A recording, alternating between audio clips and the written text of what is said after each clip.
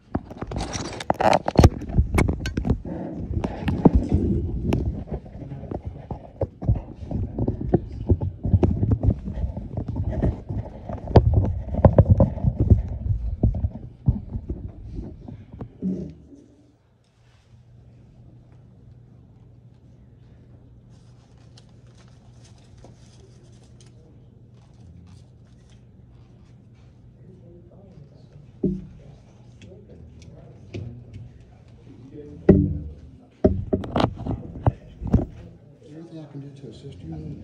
Yeah. Okay. You got any, uh, power outlet? Does it work? Sometimes they work, Yeah, sometimes they don't. I got enough battery. How long do these things usually last? Well, sir, it really depends. Okay. Depends on how many. Sometimes they last an hour, sometimes they last two, two, two and a half hours, I guess it depends. Depends on how many cops have to plead their case. Sir? Depends on how many people have to plead their case. Yeah, well, that, that is true.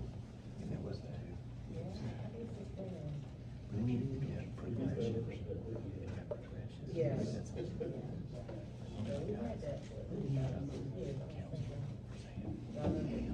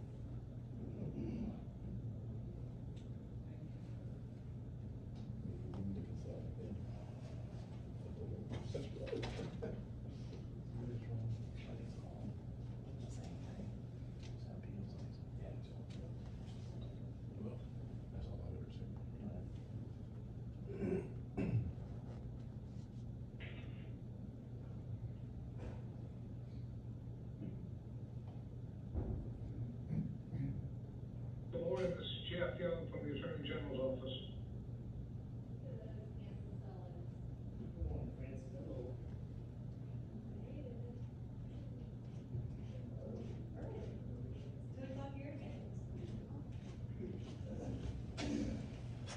Austin, you first.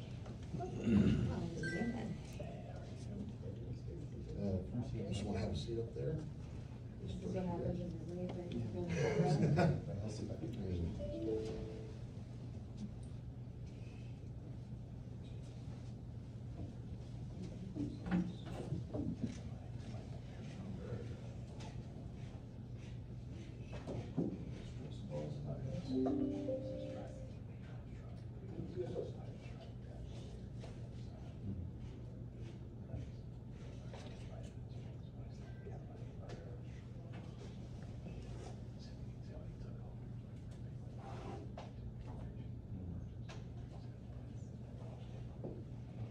All right, Mr.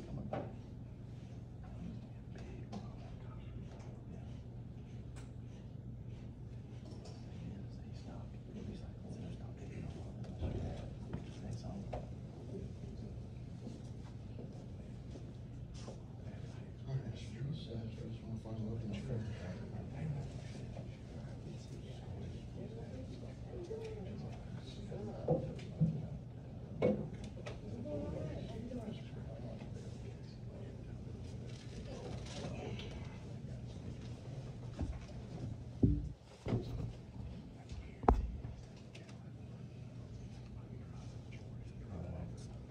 Can you catch it? What was your name? What was your name? Investigator Brumlow. Brumlow? Yeah. Can you spell that for me? B R U M L O W.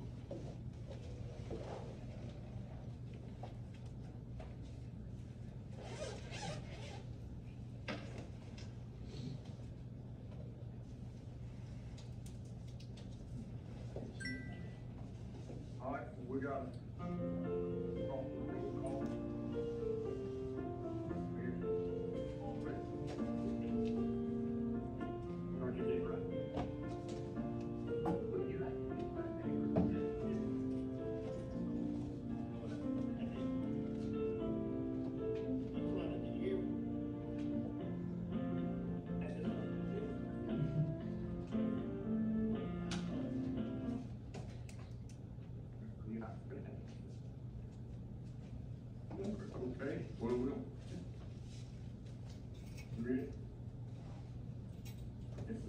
We'll try it one more time, That's roll call.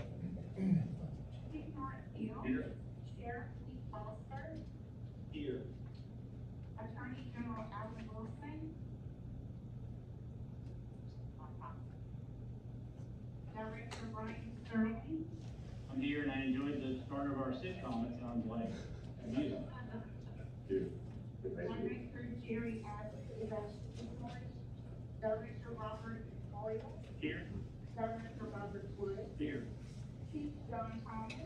Here. Sheriff Barry Taylor. Captain Nick Gallo. Okay, uh, we've got a forum, and we will next, uh, I will look to approve the agenda for today's meeting, I'll entertain a motion. Chief moves adoption, the agenda is submitted. Uh, motion to adopt the agenda is submitted, do I have a second? Got a second? Uh, any questions, any amendments that we need to make to the agenda for today?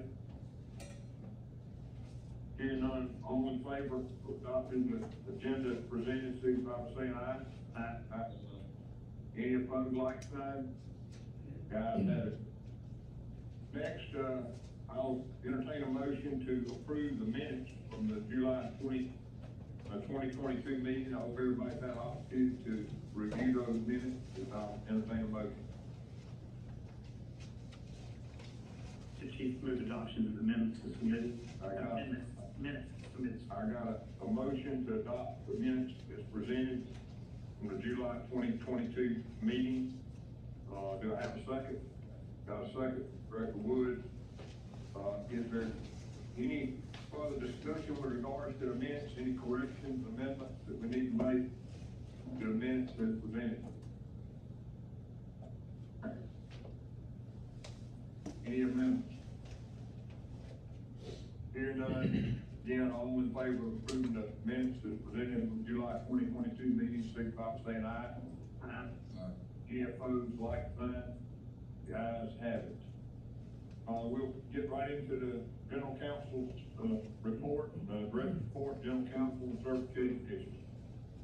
Chief, you can please the council first case, two thousand twenty-one, CJA zero nine zero three. North Charleston Police Department, there's an allegation of against Mr. Phelps. Ms. Austin is here on behalf of the agency, Mr. Hicks is here on behalf of the officer. The, uh, hearing officer recommended because this is a failure to prosecute, order that the contested case file, the matter be closed, all documentation pertaining, pertaining to the allegations be exposed. Okay, uh, had Miss, uh, okay, you wanna go first, Miss Hicks, go ahead. It doesn't make a matter, difference, chief, I'll be glad to, or if you'd like to hear from Ms. Austin first, either way. Uh, Um, you go ahead. Chief, I appreciate it, good morning, members of council, good morning. Um, I'll try to be uh, somewhat brief on this one, um, as Mr. Pennell pointed out, um, this is a failure to prosecute, this matter is currently in default, I believe, I'm sure you've all seen the recommendation, um, from hearing officer Young. Um, at the time of this hearing on February the tenth, uh, North Charleston failed to appear, um, as it's put in the record, Mr. Brumlow, um, during the pendency while we're waiting, tried to contact him by telephone, they didn't answer. Um, so Mr. Young did what the regs said he should do, we put him in, uh, default, uh, per thirty-seven one oh, I believe it's six or seven. Um, issues recommendation, um, upon receiving the recommendation, um, North Charleston sought to submit a opposition of sorts, granted it was via email. Um, that was submitted on March twenty-fifth, twenty twenty-two, I don't know if you'll have that or not, it has to be put in writing, um, North Charleston asked that their email stand. Um, I think a couple things on that, to the extent you've seen it, I, I don't think it can be considered here, um, it'd be the submission of, of evidence after the close of the case, number one, but per the regulation, once they were put in default, they're not allowed to present evidence anyways. Um, six, so it would run afoul both of the record being closed, but also they were in default. Um, so I, I believe that should be ignored, I don't believe there's any way around it. Um, nonetheless, we did provide a, a reply to that in writing, um, at Mr. Brumlow's re- request. Um, I believe you should have that, and I think, um, two things to be considered here. Um, I've got some concern that, that North Charleston may try to stand up here in a few minutes and try to argue this case on the merits. Um, and, and I'd caution, or, or certainly, uh, you can seek legal advice if you don't wanna listen to me. I don't believe you can do that today, it's in default. Um, at best, the only thing that this could be done is sent back to the hearing officer for, for evidence to be, um, heard by the hearing officer. I don't believe we can hear evidence today, um, certainly not on the facts. The, uh, PCS form was not made part of this record. Um, all that was made part of the record were the confirmations that North Charleston was served.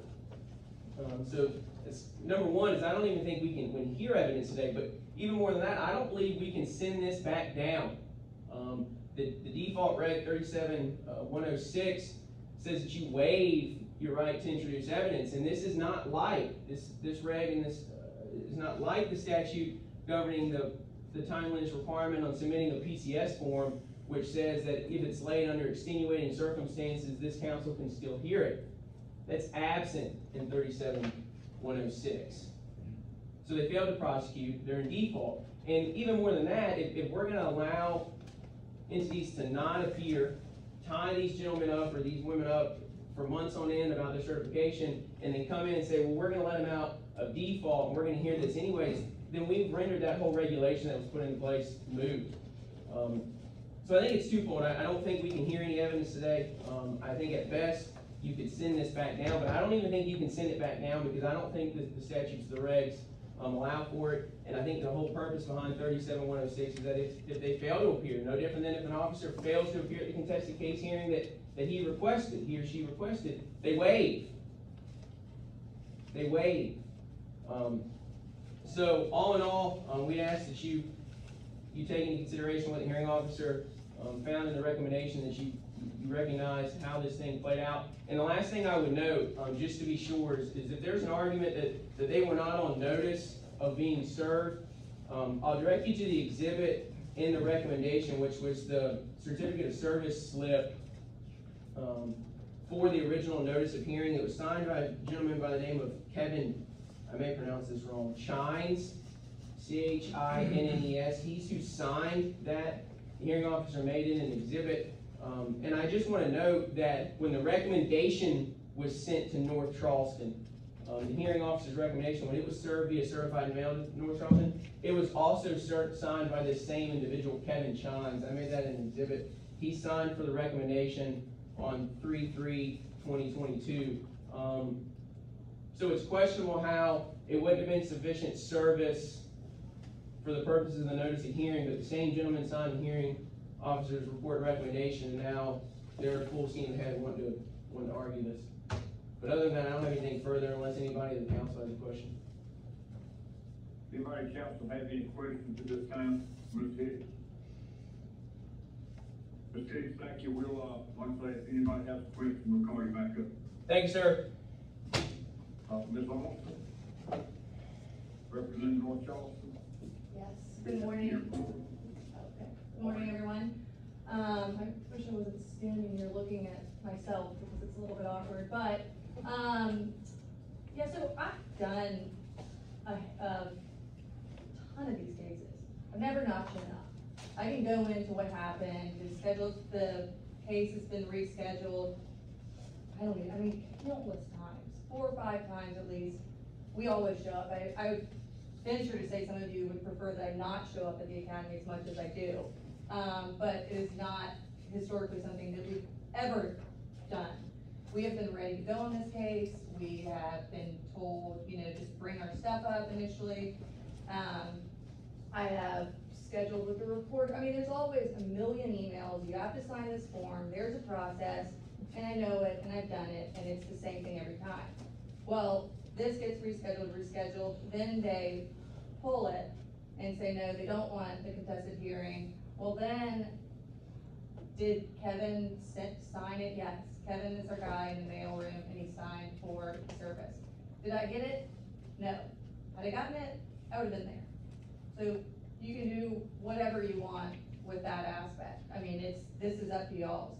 Um, I didn't get it, we didn't show up. I felt very home cooked. I never got an email. They called my work phone. I never got a voicemail. Granted, my voicemail is full a lot, so that been the issue there, but I know all these people. Everyone has my cell phone. Like, I didn't get an email. I mean, my emails come up on my phone. It, I mean, the, I don't feel, I didn't feel like that we were given a fair shot when, you know, all of the normal procedures didn't occur. I mean, the form that says that we have a duty to prosecute that we get every time we report misconduct, we didn't get a new one after we pulled the initial, um, request for a contested hearing. So there's that problem. The bigger problem though is, this upsets me, because if this guy gets off on a technicality, like, that's not on us. We have provided the information to you, it is appalling to me. I've listened to the audio, I'm not gonna go into the merits of the case because frankly, it's embarrassing and uncomfortable and I don't wanna do it. Um, and the merits are so bad to where this is the only possible way, in my mind, that this officer could get his certification back. So, I would just say that, you know, the city of North Charleston, we investigated it, we did our due dil, did our due diligence, we reported it to you, we fired him. He is not coming back to city of Charleston, and that's our only jurisdiction, I mean, that's our only jurisdiction, we can't do anything more. But it's up to y'all as to whether you want police officers getting off on technicalities, or whether you wanna ensure that the best officers are on protecting our citizens. So, that's all I have to say, if you have any questions, I am happy to answer anything, um, and however y'all wanna handle it, um, it's up to you, but the city of North Charleston does not feel like, um, Beckles should be, um, allowed to police in the state. But again, that's your decision, not ours. Anybody have any questions, Ms. Owens? Greg? Ms. Austin, um, I think we all recognize this is a very regrettable Sorry, I'm set trying of to, circumstances, and you've uh, indicated you all investigated uh, the officer's behavior. I'm curious, um, have you investigated with equal fervor um, the, the, the ball being dropped from being served and you're not getting noticed and, and- and ultimately resulting in, in North Charleston not showing up to prosecute on February tenth of this year? Have you investigated that? Is there anything you can share with I mean, council? there's not much to investigate. I mean, the mail guy signed for it, I was out of the country, I actually got stuck. I mean, it was actually pretty awesome, but I got stuck out of the country because I tested positive for COVID with my husband and we were able to send my kids back with my parents, so that was, that was awesome. But I was out of the country, like, from, think I got back on like January tenth maybe, and this, and if I'm remembering correctly, he signed for maybe January third or fourth, I mean, I'd have to look back, but we look back on it and, uh-oh, okay. I mean, I had no intentions, we were all ready, so, I mean, I think you really need to look at, what's the point of these hearings? Is it, you know, to, One of these hearings, Ms. Austin, is for to show up and prosecute these cases. And for you to think that you can stand there and you can just tell everybody that, hey, it's not on us now, it's on this council, you're incorrect. well, with all due respect, I mean, with all due respect, that is our position, that is our position. If you had shown up to prosecute this case, as other agencies show up to prosecute this case, we wouldn't be having this discussion right now. But to Okay. think that you can stand up there and absolve yourself in North Charleston of any responsibility. That's exactly what I'm that doing. Happened by this council, you are incorrect. Well, I respectfully disagree with you. We don't have any authority over your agency. It's not very respectful to interrupt the chair when he's talking. Okay. I don't have anything else to say. Sheriff Foster? Thank you, Chief. I have a question of, um, Director Swindler or Mr. Fennell. The, uh, was the proper procedure for these matters followed as you would do with any agency in South Carolina? Jimmy, thank you. The, what we do in these cases is when we consider a first time, um, so an agency, or excuse me, officer first request the hearing, the notice goes out, and once we make contact with all the parties, then all the follow-up communication from that point forward is via email. In this case, there was a first contact, but the hearing request was withdrawn, so we started the process over again, and by doing that, then it went out via mail. That's how the process internally works, Sheriff. But my question is, do you follow, did you follow in this instance the same way you do with anybody else? Would be like the uh, Pumpkin Police Department or somebody like that? Yes, I I believe the only thing that was not sent this time was the agency acknowledgement of prosecution form. That, I do not believe was sent the second time around, but the hearing notice itself, uh, was sent. But the notifications were sent out. Yes. May I, may I make a, um, point with that? Again, I've done these so many times, and we email back and forth, because with the court reporter and what works, and schedules, and how to do, you know, submit the evidence, make sure things, you know, in the last two years was, are we on Zoom, are we in person? And every hearing I've done is a slew of emails back and forth. And every other situation besides this one hearing, there have been a slew of emails back and forth. I didn't receive one email with this date. This is, that, no, no, they might say, oh, that's how we treat everyone, fine. But I'm telling you, I didn't receive one email, I would have been here, this is not, I didn't drop the ball, I did not get notice. And again, I, I mean, there's nothing I can do about that. If you want to look into the case, which I suggest you do, because it's bad. Do it. If you don't, don't. I mean, it's, it's nothing that we can control. Anybody have any other questions?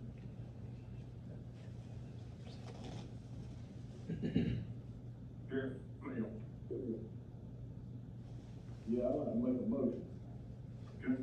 I'd like to make a motion that we, uh, go by the recommendation of the hearing officer of North Charleston failed to do the job.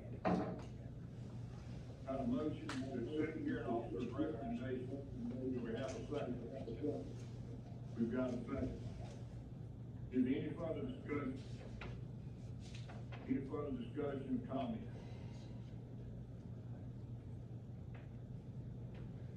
Any further discussion? Hearing, uh, Sheriff Foster.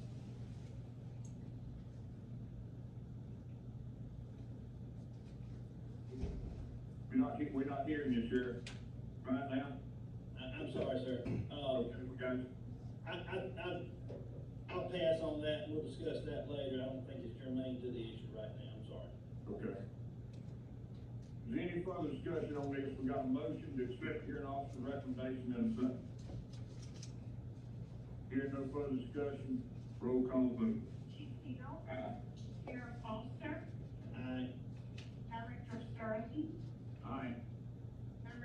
Aye. Director Boyle. Aye. Director Woods. Sheriff Faile. Aye. Chief Thomas. Aye. Captain Galvin. Aye. Ms. Case. Thank you. Ryan March, two thousand twenty-one, TJ eight zero eight eleven.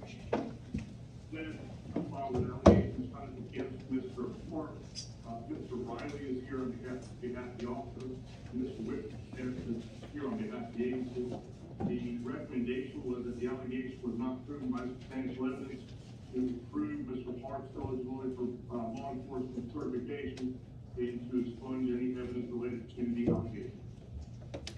Sheriff Foster, if you would, uh, since this is my agency, I would ask you to chair, make the chair in this particular I will recuse myself from any discussion on this matter. I will do my best, sir, thank you. Good morning, Sheriff Foster, members of the Train Council. I'm Adam Whitsett, General Counsel of SLED, here asking that you overturn the decision of the hearing officer in this matter. Quite frankly, we feel that the hearing officer missed the mark in virtually every respect in this case. We believe the substantial evidence submitted established that Ryan Hart committed misconduct when he intentionally lied and provided deceptive and false statements to a Richland County Sheriff's Department Sergeant Michael Larita during the course of a formal criminal investigation. This whole investigation arose out of a dispute that Mr. Hart had with an individual that was building a house for Mr. Hart, an individual named Marty White. I'm gonna open my presentation today with a portion of Mr. Hart's words to SLED investigators, because I feel that these words show the mindset and set the stage for evaluating the conduct and the intent during this entire situation. So I'm gonna quote Mr. Hart directly. On Friday, July the thirtieth, I was advised of an internal investigation being conducted of me from a complaint made against me by Sheriff Lott. This is my true and accurate statement made in defense and denial of the false, outlandish, and unhinged accusations and allegations made against me by the sheriff. Assertions that are merely a regurgitation of an insane claim made by a mentally unstable individual. These accusations are based on speculation, imagination, and the false statements of one individual, Gary Martin Marty White Jr., who is a proven liar and manipulator, not from fact. He is the only one in this matter that's been untruthful and unfortunately has duped the sheriff into questioning me and my integrity in the process. Marty White has stolen from me, cost my family tens of thousands of unnecessary dollars, immeasurable amounts of mental and emotional distress, wasted two years of my family's time, has attempted to defame me, uh, defame mine and my wife's character to anyone who will listen, and is now attempting to cause irreparable damage to my career, livelihood, and ability to provide for my family. That's a direct quote from Mr. Hart's statement to SLED investigators. So clearly, Mr. Hart had an incredible animosity towards Marty White. Hart believes that he stole from him, cost him and his family money, and wronged his family.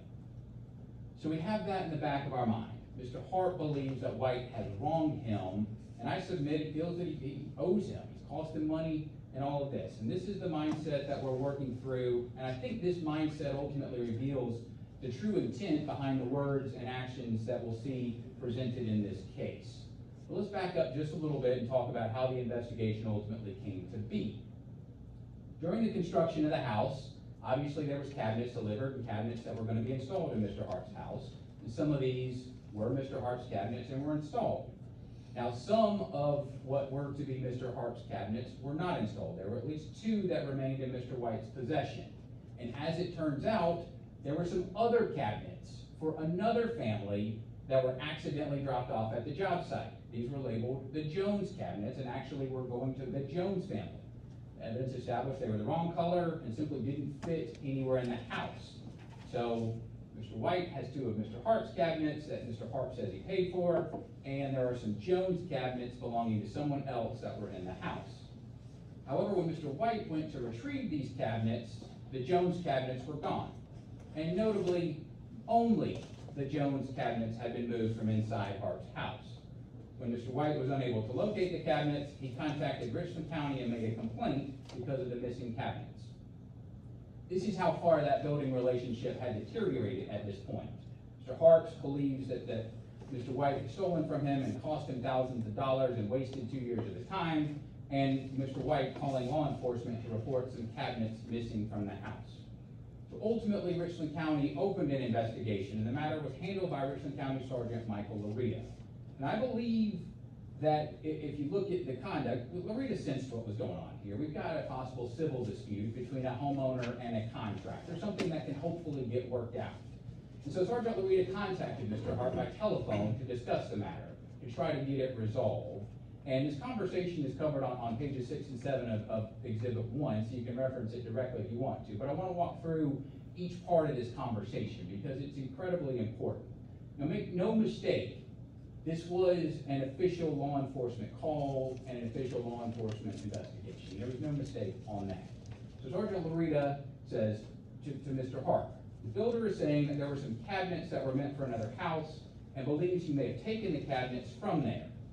Mr. Hart's response was, uh, I don't know anything about anyone else's cabinets in my house.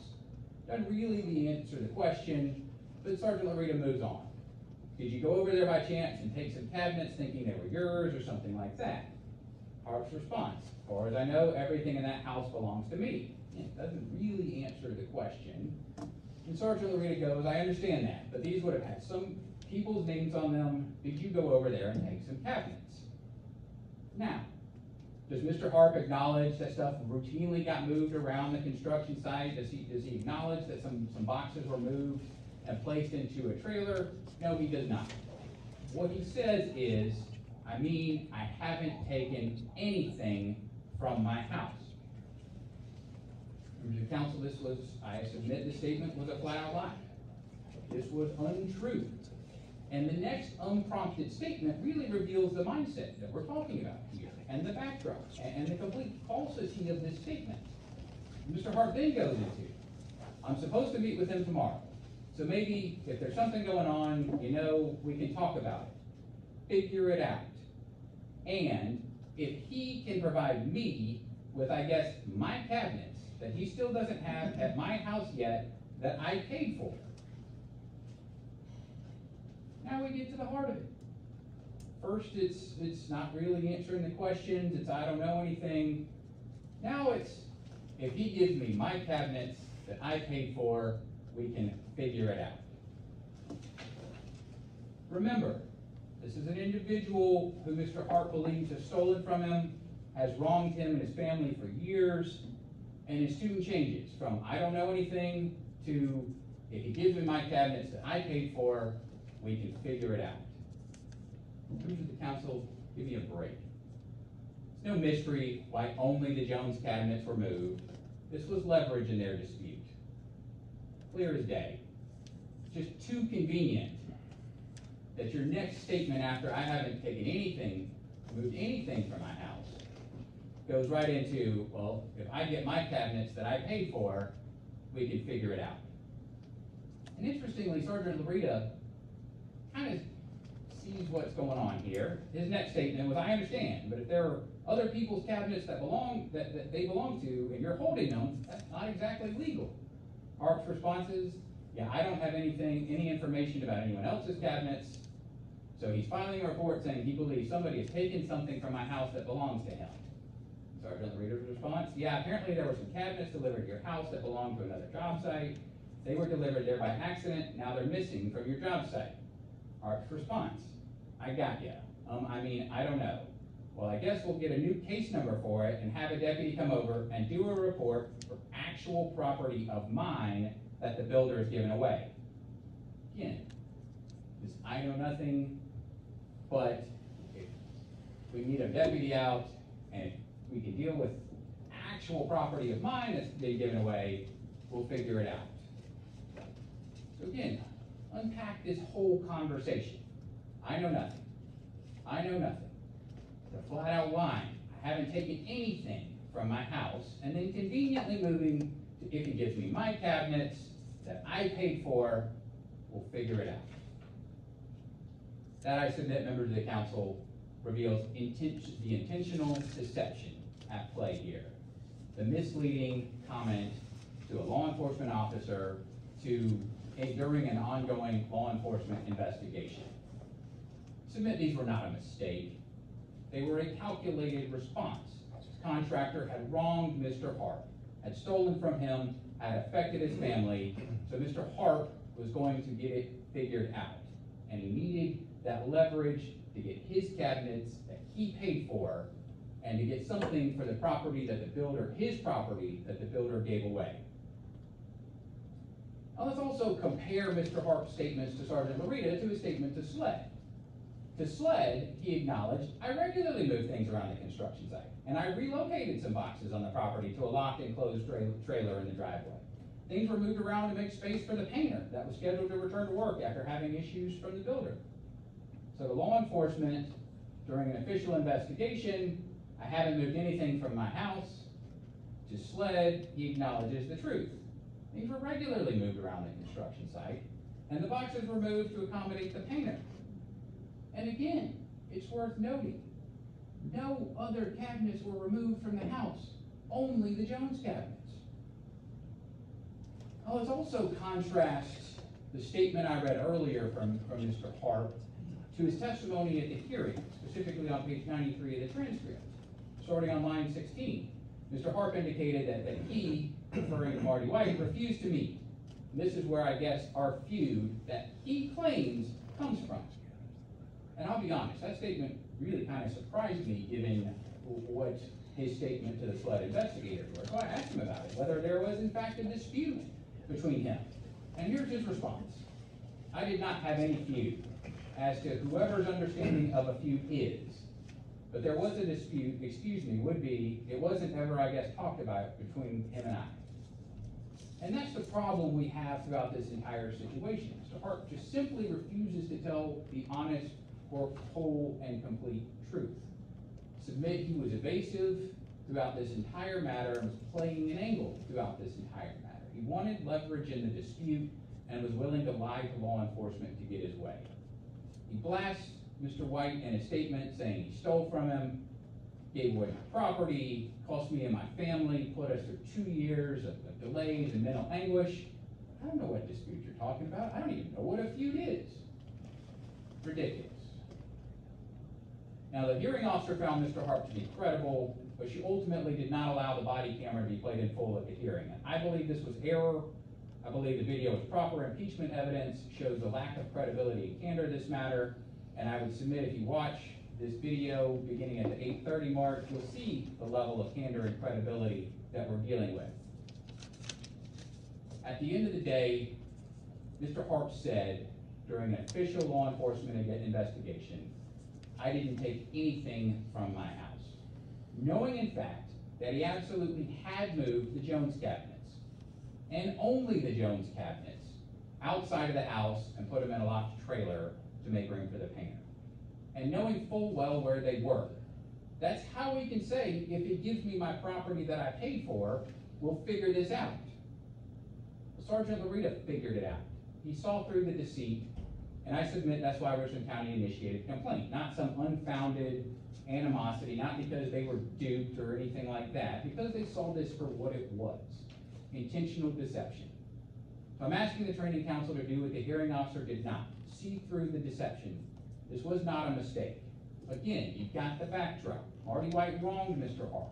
Mr. Hart was gonna get him back for the time, the money, and the mental anguish that Mr. Hart and his family were put through. Unfortunately for Mr. Hart, Richland County investigator got involved and the animosity resulted in intentional deception and false statements to a law enforcement officer during a law enforcement investigation. Members of the training council, I don't have to tell you how important integrity is in law enforcement. Our state and the federal constitution, our system of justice demands no less than the complete truth from our law enforcement officers. I submit the evidence in this matter was clear. Mr. Hart's intentional deception and false statements to law enforcement officer in the course of an an official investigation amount to misconduct in South Carolina. Accordingly, I would ask that you overturn the hearing officer's recommended, recommendation and impose the appropriate sanction in this matter. Thank you. Thank you, Mr. Um, Does the council have any questions at this time, Mr. Whitsett? Uh, Chairman, this is Bryan Stirling. I have a quick question. Can you repeat? So there are two sets of cabinets in the house, one for him, one for Jones, and only the Jones cabinets were moved to the trailer? Is that correct? That's correct. They didn't move themselves, right? I believe that's correct. And who owned that trailer? I was unclear on that in It was Mr. Hart's trailer sitting in Mr. Hart's driveway. I don't have any more questions for Mr. Whitsett. Uh, from the chair, uh, just wanna verify what I just heard, the, the trailer where the cabinets were moved, Mr. Hart, is Mr. Hart's trailer? That's, that's correct, Sheriff Officer. Thank you. Thank you, Ms. Whitsett. Any other questions? Okay, I apologize, I did not get the name of, uh, the other council, but, um, you would please approach and, uh, and make your presentation. I apologize for not catching your name, it's a delay in this, uh, system, thank you. No problem, Sheriff Foster. Nick Riley with the Moore Bradley Myers Law Firm on behalf of Mr. Hart. We appreciate the opportunity to appear before you today. Um, at the outset, I question the timeliness of the appeal submitted by SLED in this matter. We both agreed to receive the findings of the hearing officer by certified mail. According to the records in my office and according to the certified mail receipt, we received that document, the findings of the hearing officer on May twenty-fifth, twenty twenty-two. Fifteen working days from that date would be June fifteenth. We all know that by section 23-23-150, appeals must be submitted within fifteen working days of receipt of the hearing officer's decision. According to my calculations, SLED would have needed to submit those findings, mean, submit their appeal if they received their finding on the same day that I did by June fifteenth. It was submitted June twenty-second. So by calculation, SLED would have had to have received that document a week after, the findings a week after I did. Now, I have no way of knowing when SLED, um, received their documents, so I'm not accusing them of being late, I'm merely questioning it. Because based upon the timeline that I have, it seems questionable whether it was submitted timely. I would like for the panel to inquire into that matter before issuing a ruling. My opposing counsel did a great job of sort of relitigating this case in his argument. He's, um, asserted essentially that my client intentionally misrepresented investigators as part of the inve- investigation into this matter. As I can tell, the facts of allegations of misconduct all deal with a June thirtieth telephone call to my client from investigators regarding these cabinets. It is clear from the record and undisputed that there was two sets of cabinets in this house at issue, the house owned by my client. The documents and exhibits submitted at the hearing contain a photo of the Jones cabinets.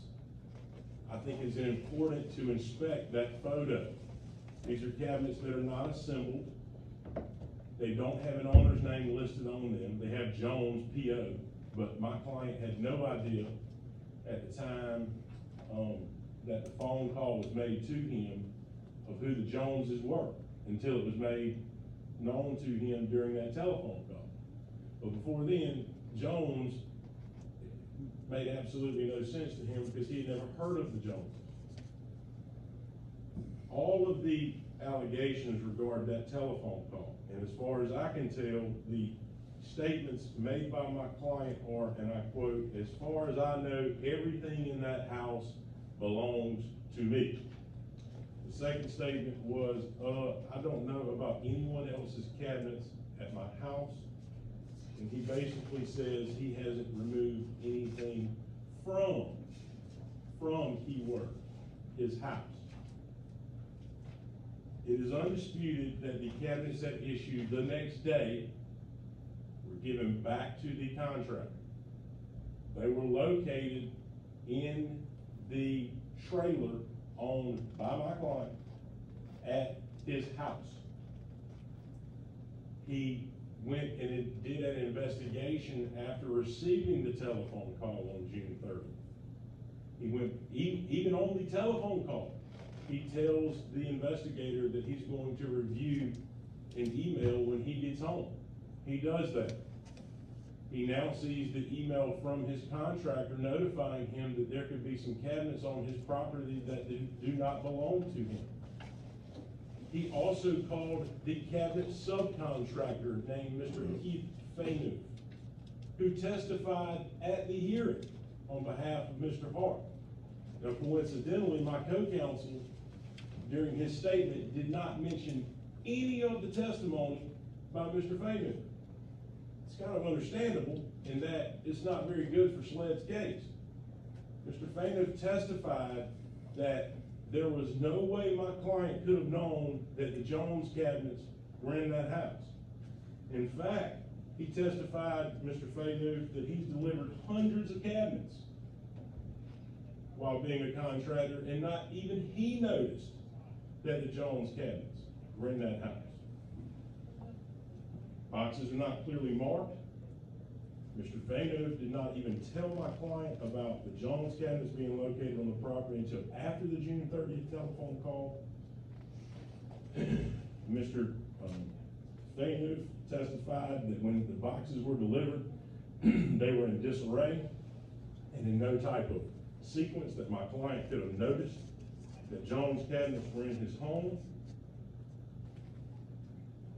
There has been a lot of talk by my opposing counsel about how only the Jones cabinets were removed from the home at issue. What he didn't say was, there were still Jones cabinets in the house the day that Mr. Jones came to get the cabinets that were in the trailer. So if my client was trying to have some type of ransom or get back at you type scheme, there were still Jones cabinets in the house. The reason that the cabinets were in the trailer was it was testified to by my client that he moved the cabinets so that the painters could paint. The only reason those cabinets were in the trailer was because they were the cabinets that needed to be moved to make way for the painting. Testified to that my client did not order the cabinets. He didn't know the colors of the cabinets because his wife ordered them. Mr. Fainus didn't tell him the colors of the cabinets. So basically what we have is, we have a telephone call on June thirtieth after my client has flown an aviation. He's in his car. He's being asked about an investigation and allegations without being able to conduct any type of research into the matter. Was he heated? Sure, yeah, he's heated because this contractor, Mr. White, has done a terrible job of building his home, and he's upset about it. Could he have been more polite? Sure. Did we take law enforcement credentials for that? No. The allegations in this case revolve around that telephone call on June 30th. Opposing counsel wants to bring up a telephone call, I mean, a body cam video that happened the day after the telephone call on June thirtieth, when the cabinets were returned to the contractor. That tel, that body cam is forty-five minutes in length, and not a single allegation that is being litigated in this case were contained in that video. All of the allegations of misconduct revolve around the June thirtieth reported telephone call. That's why they were properly excluded. Now, he brings up the issue of impeachment. The hearing officer allowed the video to be used for impeachment. There was an opportunity, for Adam, my opposing counsel, to play the excerpts that he wanted to play. He only played those, and the hearing officer ruled that those excerpts were relevant for the purposes of impeachment. What's not relevant is the whole forty-five minute telephone call when there's no allegations of misconduct. I mean, excuse me, the forty-five minute body cam video, when there's not a single allegation of misconduct contained on that video. We believe the evidence is clear in this case. There was no intentional misrepresentation. Now, was the allegate, was the statement of, I haven't moved anything from my house, um, somewhat not correct? Well, maybe. The SLED's, uh, investigator that testified, which was the only witness SLED put up for this case, when asked on cross-examination about the removed anything from the house issue, he agreed that if the cabinets were located in a trailer on Mr. Hart's property with the house, that it could be as construed as his house. So the trailer, Mr. Hart says, I haven't removed anything from the house, he meant the property. Everything that has been delivered to that house, still in that property. Whether it's located in the house, trailer, wherever it may be, it's still at that address, that tax map number. That's what he meant. That's what he testified to. SLED did not call a single witness to refute that. There was no one there to judge the credibility on behalf of the SLED officer. Mean, of the investigator from Richland County, of Mr. White. The only person who testified at the hearing was the SLED investigator. So, the credibility issues have to go to my client and to his subcontractor, who did testify under oath as to the intentionality of these statements. And the intentionality of it is the key. We believe that if you look at the timeline of this case, and that the boxes were not conspicuous, it was impossible to tell what these boxes were, who they belong to. And the fact that this telephone call with my client occurred in a car after an aviation mission while he's trying to get home.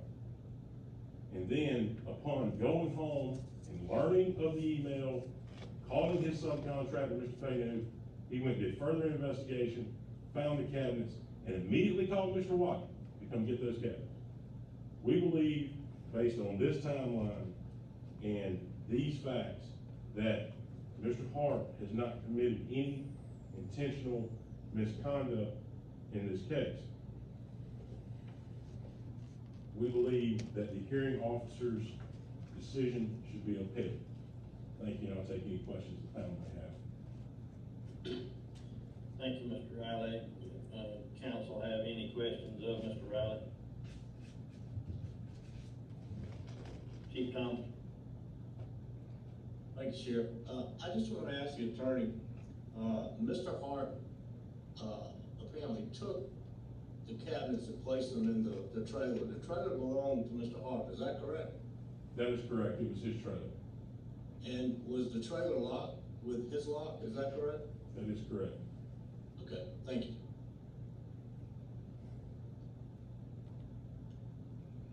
Uh, Director? Um, yes, Mr. Riley, just a quick question. Did he move all of the cabinets or just the ones with Jones on them? He moved the cabinets, and I'm gonna answer this question as concisely as I can, he moved the cabinets that were in the way for his painters. That were, those were Joan cabinets, but there were still Joan cabinets inside his house. So he did not move all of the cabinets and just the Joan cabinets to his trailer. There were still Joan cabinets inside the house. Thank you.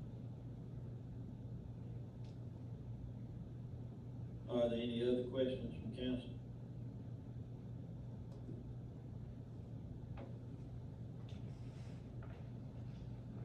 All right, Thank you, Mr. Wright. Thank you. With your, uh, client, is he with you? He is, he's back here seated next to me. Would he want to say anything? I'll, I'll ask. Sheriff,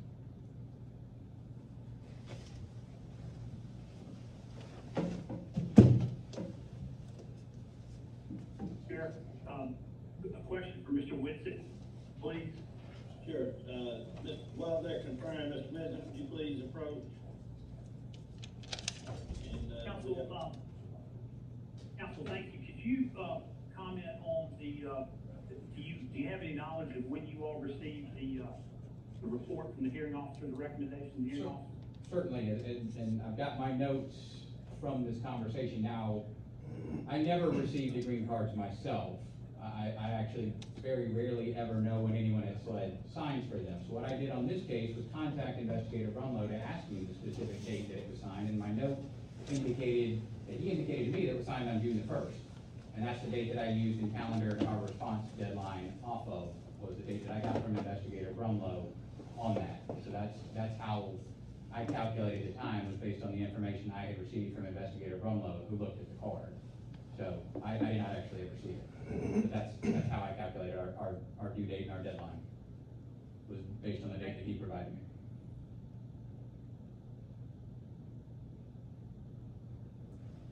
Ron, do you have any more questions?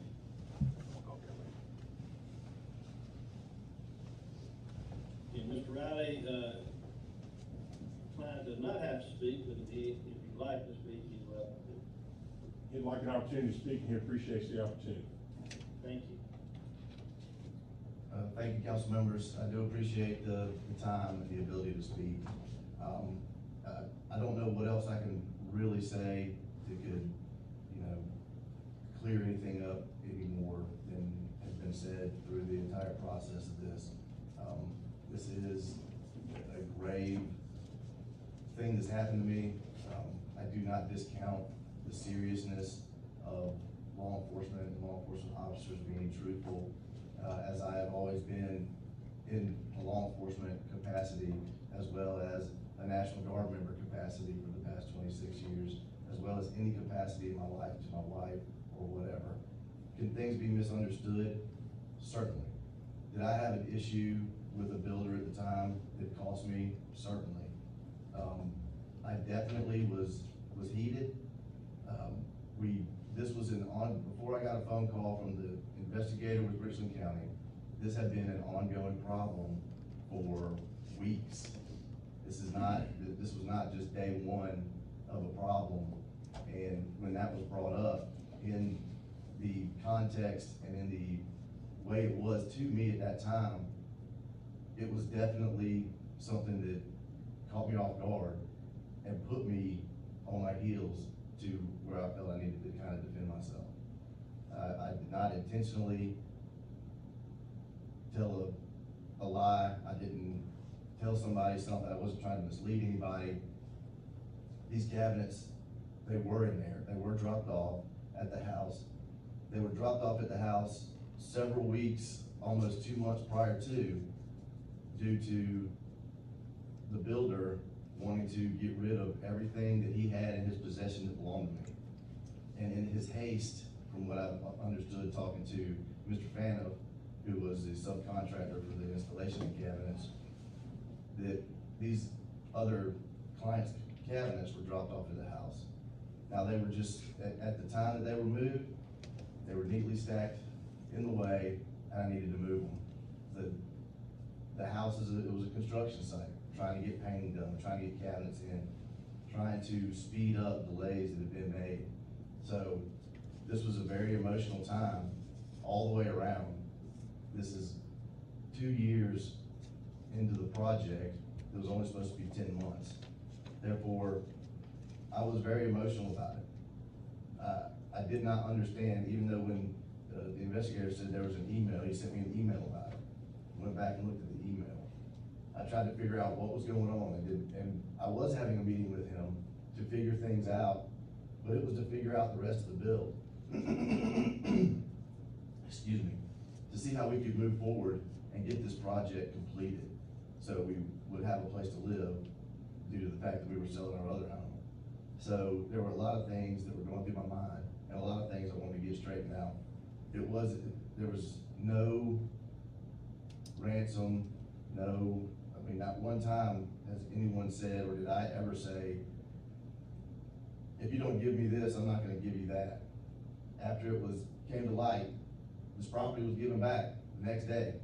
As I told the deputy, the escort deputy that day on scene, who the body camera footage through, that there was a, a miscommunication, misunderstanding. And once I figured that out through Mr. Fana, we then immediately, the gentleman had his property back. So he was notified of the mistake in law enforcement's presence that day. And at, at that point, I thought it was done, until I got the notice of the OPR investigation. But there has never been a time that I've, you know, my credibility has been impugned like this, and my integrity. And that's one thing I pride myself on, and this has been a very unsettling thing for me, to now have to essentially prove that I'm not this. And, and I honestly hope that through this and the recommendation of the hearing officer, we can, I can get past this and move on.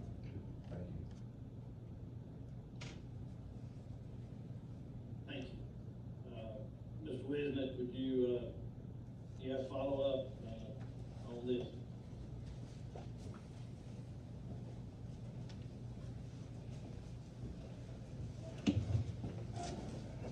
No, I, I believe I, I'll stand on my, my prior presentation. I, I believe, I believe the evidence is clear. I believe the hearing officer got it wrong, and we would ask that you overturn the recommendation.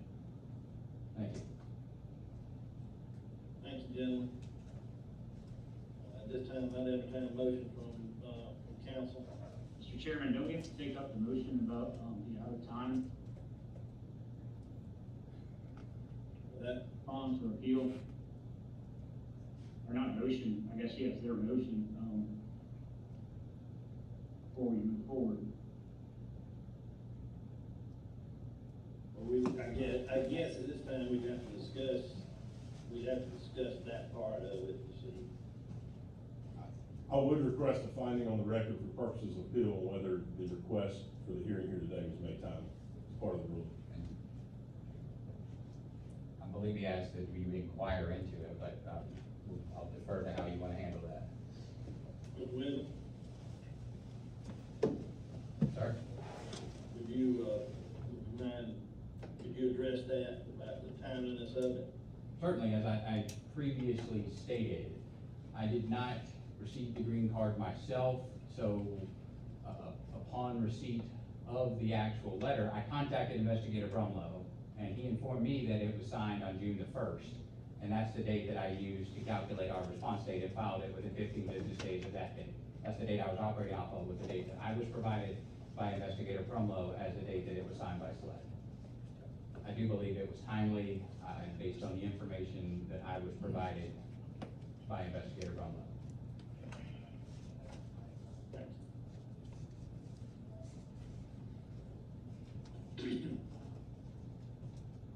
Rep. Stirling, that, I'm not exactly sure what procedure we would use with that without a, without some kind of motion. Right, I just, I think, probably have to deal with it one way or the other, and I, um, I guess I'd look Jimmy to kind of advise us on, on this. Yes, so Mr. Fennell, would you, uh, would you address that so we can decide how we proceed, please? Yes, sir. Uh, twenty-three, twenty-three, one fifteen E, um, governs the motions period after the final agency decision has been sent. And subsection D says, um, the individual or the party opposing the hearing officer's recommendation must do so within fifteen working days of receipt. I think that's probably the key here, is the green card shows that the, um, that the party I here, in this case, SLED, received it on the first of June. And the way we count, this is kind of odd, but according to the rules, is that the first working day at that point would be the second, which means the fifteenth working day of the month, within the, that time period, would have been the twenty-second. Nathan, it's my understanding that Mr. Whitsett filed his motion, opposition. So it's, it's, uh, it's working days, not calendar days. Yes, sir, that's, that's why this gets, it's sticky at times, because you have to take into account holidays and everything else, but in this case, there were no holidays between, it's purely a working day issue here. And if I may say this too, your edification is, SLED never filed an appeal, and this is not an appeal where they were appealing the hearing officer's recommendation. This was just part of a process. And so, the, uh, the appeal, if you will, is automatic, the hearing officer's recommendation, it must come to the training council by statute and by regulation. Uh, so this technically wasn't an appeal that was filed, it was a motion, but the motion still feels that council will make this determination that it fell within, uh, twenty-three, twenty-three, one fifty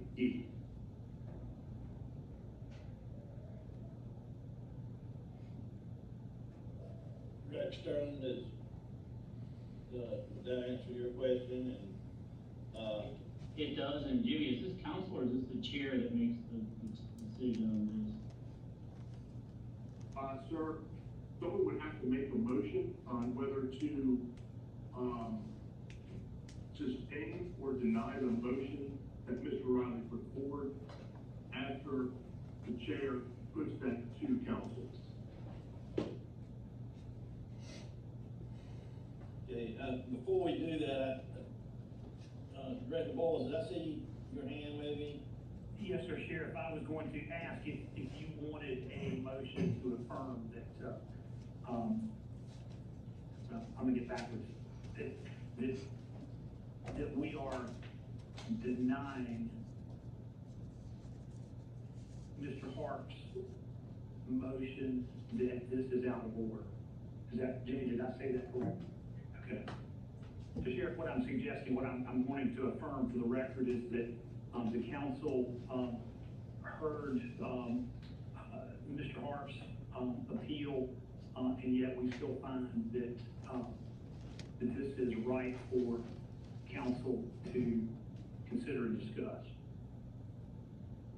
From the chair, I ruled that a, uh, a motion would be in order, and if that is your motion, uh, go ahead, sir.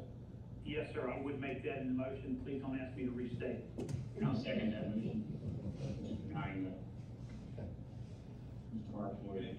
The motion as I, as I understand it is that the, uh, receipt of the certified letter and the response was within the time frame of the statute governing such. Yes, sir, Sheriff, much more eloquently than I could have put it. Yes, sir. That's about as lawyer-esque as I could be. Uh, So we have a motion, uh, by Director Boyles and a second by Director Stirling. Uh, do we have any discussion of that?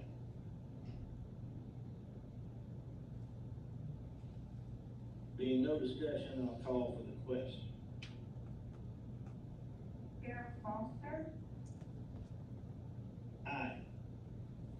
Director Stirling, Aye. Director Boyles, Aye. Director Woods, Sheriff Faile, Uh, Keith Thomas, Aye. Captain Galvin. Aye.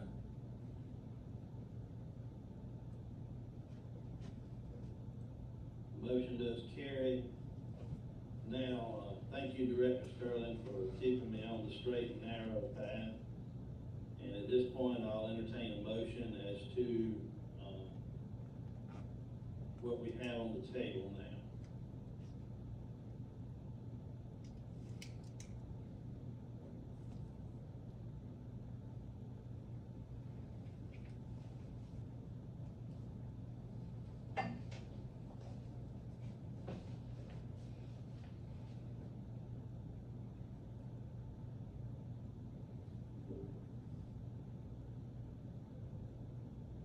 don't have a motion, I guess the, it fails for,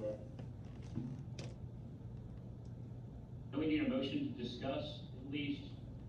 I think that, and again, I'm not an attorney nor an expert in parliamentary procedure, but what I understand of it is that you do need a motion to discuss further, um, the issue, otherwise, the, the point stands as is. That's my understanding, Mr. Fennel, and now, can you help me? Yes, sir, in order for this to proceed forward, we, we, council needs a motion, um, whether to adopt or not the hearing officer's recommendation in order to get it out for discussion. Mr. Director Moss? I thank you, Sheriff, for the purposes of discussion, I would make the motion that we adopt the hearing officer's recommendation or report. The motion is that we adopt the hearing officer report, which is no finding, I believe, right? Correct? Second, I'll second. here, a second, by Captain Galvin. Now we'll open the, we'll open the floor for discussion.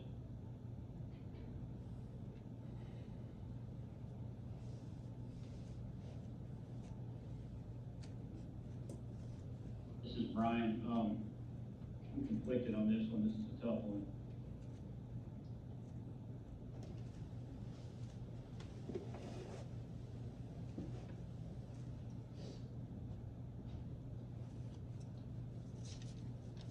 Sheriff, question Moss? for, for, for council, I'm not sure who. Maybe for Mr. Whitsett. Hang on, let me grab my notes.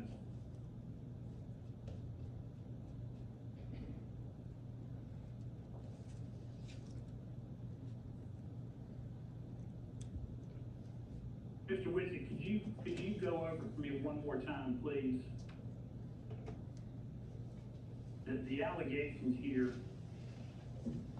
are for willful and intentional deception. Can you walk me through the, uh,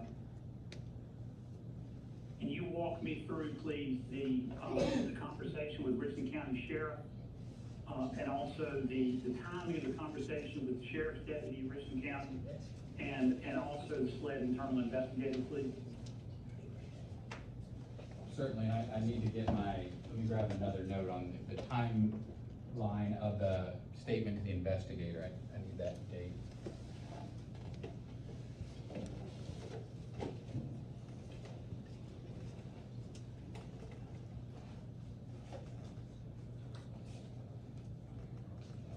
Bear with me one second.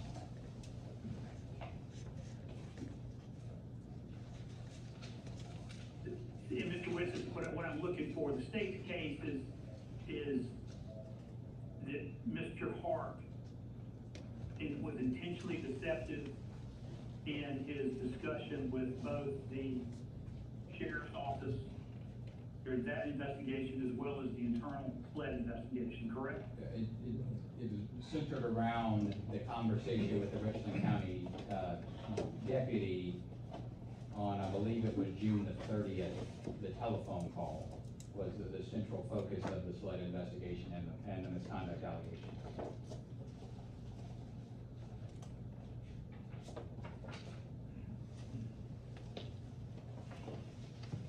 So the incident report was submitted on June the 29th. The telephone call happened on June the thirtieth. That's when the conversation, um, between Sergeant Larita and Mr. Hart took place, was on June the thirtieth. Subsequently, um, Mr. Hart met with SLED's investigators, so then would have been the next day to July the first was when another Richland County officer went out to the property and Mr. Hart's cabinets, two cabinets were returned by Mr. White and the Jones cabinets were removed from the trailer was that following day, July the first. And on July the 29th was the date of the SLED, um, interview, SLED's internal interview with Mr. Hart, and then he submitted a written statement on Monday, August the 9th. Is the specific time frame. Thank you, Mr. Whitsett. Um, can you help me understand the, um, the nexus between, uh, the connection between the Richland County Sheriff's investigation and the SLED internal investigation? Certainly, uh, Richland County ultimately was the complainant that generated the SLED investigation. That was established in the record. And so the Richland County criminal investigation ultimately did not result in any law enforcement action of any kind, but that was the genesis of the complaint to SLED alleging misconduct on Mr. Hart's behalf. Was the, the allegation of intentional deception during, uh, the phone call that occurred. And ultimately, I, I walked through that, I'm happy to walk through it again, I mean, it, it, it centers on whether there was honesty and, and whether he was as candid in his conversation with Sergeant Larita, indicating I haven't taken anything from my house, which I believe we know to be false, and we know to be, I I submit, intentionally deceptive, given the mind state, given the backstory that we have involved here. Thank you, Mr. Whitsett. Thank you. Mr. Mr. Whitsett, from, from the chair, um, would you clarify, when SLED did, SLED did an internal investigation? And did he basically stick to that same story, or did he offer the, the truthfulness in the, in your internal investigation? Would you So- clarify that for me, please? Certainly, during the internal, he did indicate, um, that it was a mistake and that they were returned the next day. That's where that, that version came from. And then I, I also read sort of his statement of mindset and intent on all of this. But his statement to SLED investigators was that this was a mistake and that, that went from there.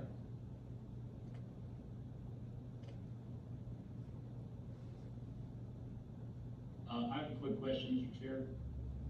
Uh, please. So, um, in the recommendation, it talks about, uh, Mr. White went to the home and tried to locate the Jones cabinets and could not locate the Jones cabinets. I'm not sure this question, I think it's a question for Mr. Hart's attorney, or Mr. Hart. If there were some cabinets that said Jones on them that were removed, and some cabinets that said Jones on them that were not removed, how come he didn't find some, a portion of the order, I guess is the best way to ask it? Um, that's what Mr. White said, was that no cabinets belonging to Mr. Jones could be located in the house. But you stated that some of those Jones cabinets were still in the house. It appears from this that all of the Jones cabinets were removed Well, you know, on that, June twenty-ninth. that's a good question. That's a question that should have been asked of Mr. White at the hearing, but he was not called as a witness. So it was impossible to judge his credibility. For all we know, Mr. White was lying. For all we know, he didn't look good enough. I would have loved to have asked him that question on cross-examination, but I didn't get the opportunity because he didn't appear. The witnesses that did appear, my client and the subcontractor said it was a mistake. The SLED investigator that did appear, if you look at the hearing officer's finding, I went through every allegation on cross-examination. The allegations being page four of State's Exhibit One. They are excerpts from the telephone call on June thirtieth. The hearing officer's decision walks through the cross-examination of the SLED investigator, and in every single one of them, he admitted this could have been a mistake. That is telling. The only witness for SLED basically admits what my client alleges. We would have loved to hear from Mr. White. I don't know why he thought that there were no John cabinets still left in that house. But my mm-hmm. client, who was there, who did testify on the road, was adamant There was Jones cabinets still in the house and John cabinets in that truck. There is, there is seemingly no dispute that only Jones cabinets were moved to the trailer. And my client provided an explanation for why.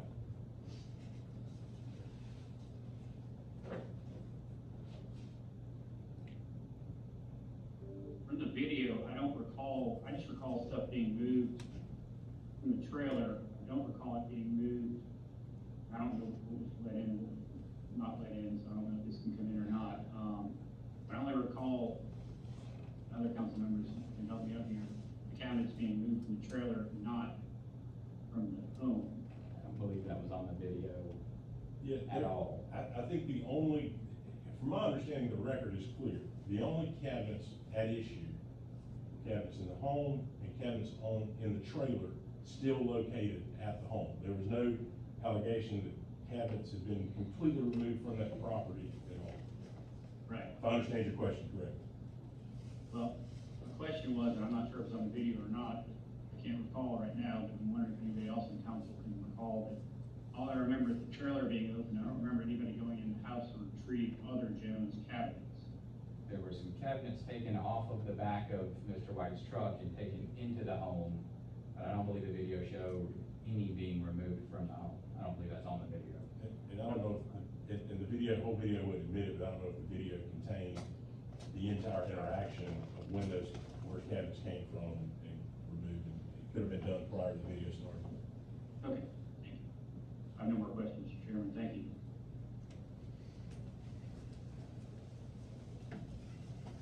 Any other questions, any other discussion? All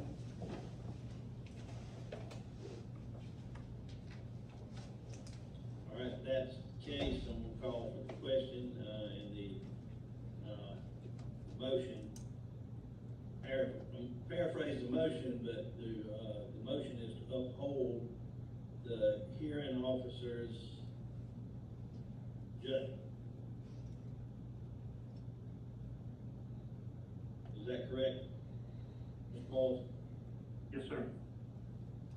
Okay. Call for the, call for the question, call for the roll call. Sheriff Foster, Nay. Director Stirling, Aye. Director Boyles, Aye. Director Woods, Sheriff Faile, Nay.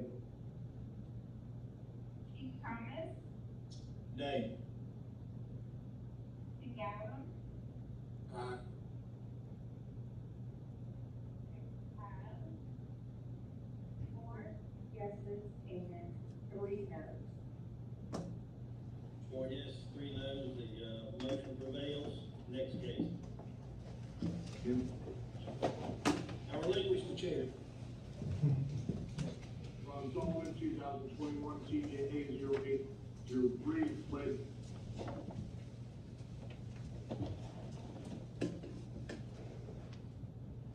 I'll relinquish it back to you there, Sheriff. Uh, just another SLED case, so I, I'll give it back to you again. I recuse myself. Thank you, Pete. Mr. Solomon, uh, Mr. Dees is here on behalf of the officer, Mr. Whitsett is here on behalf of the agency.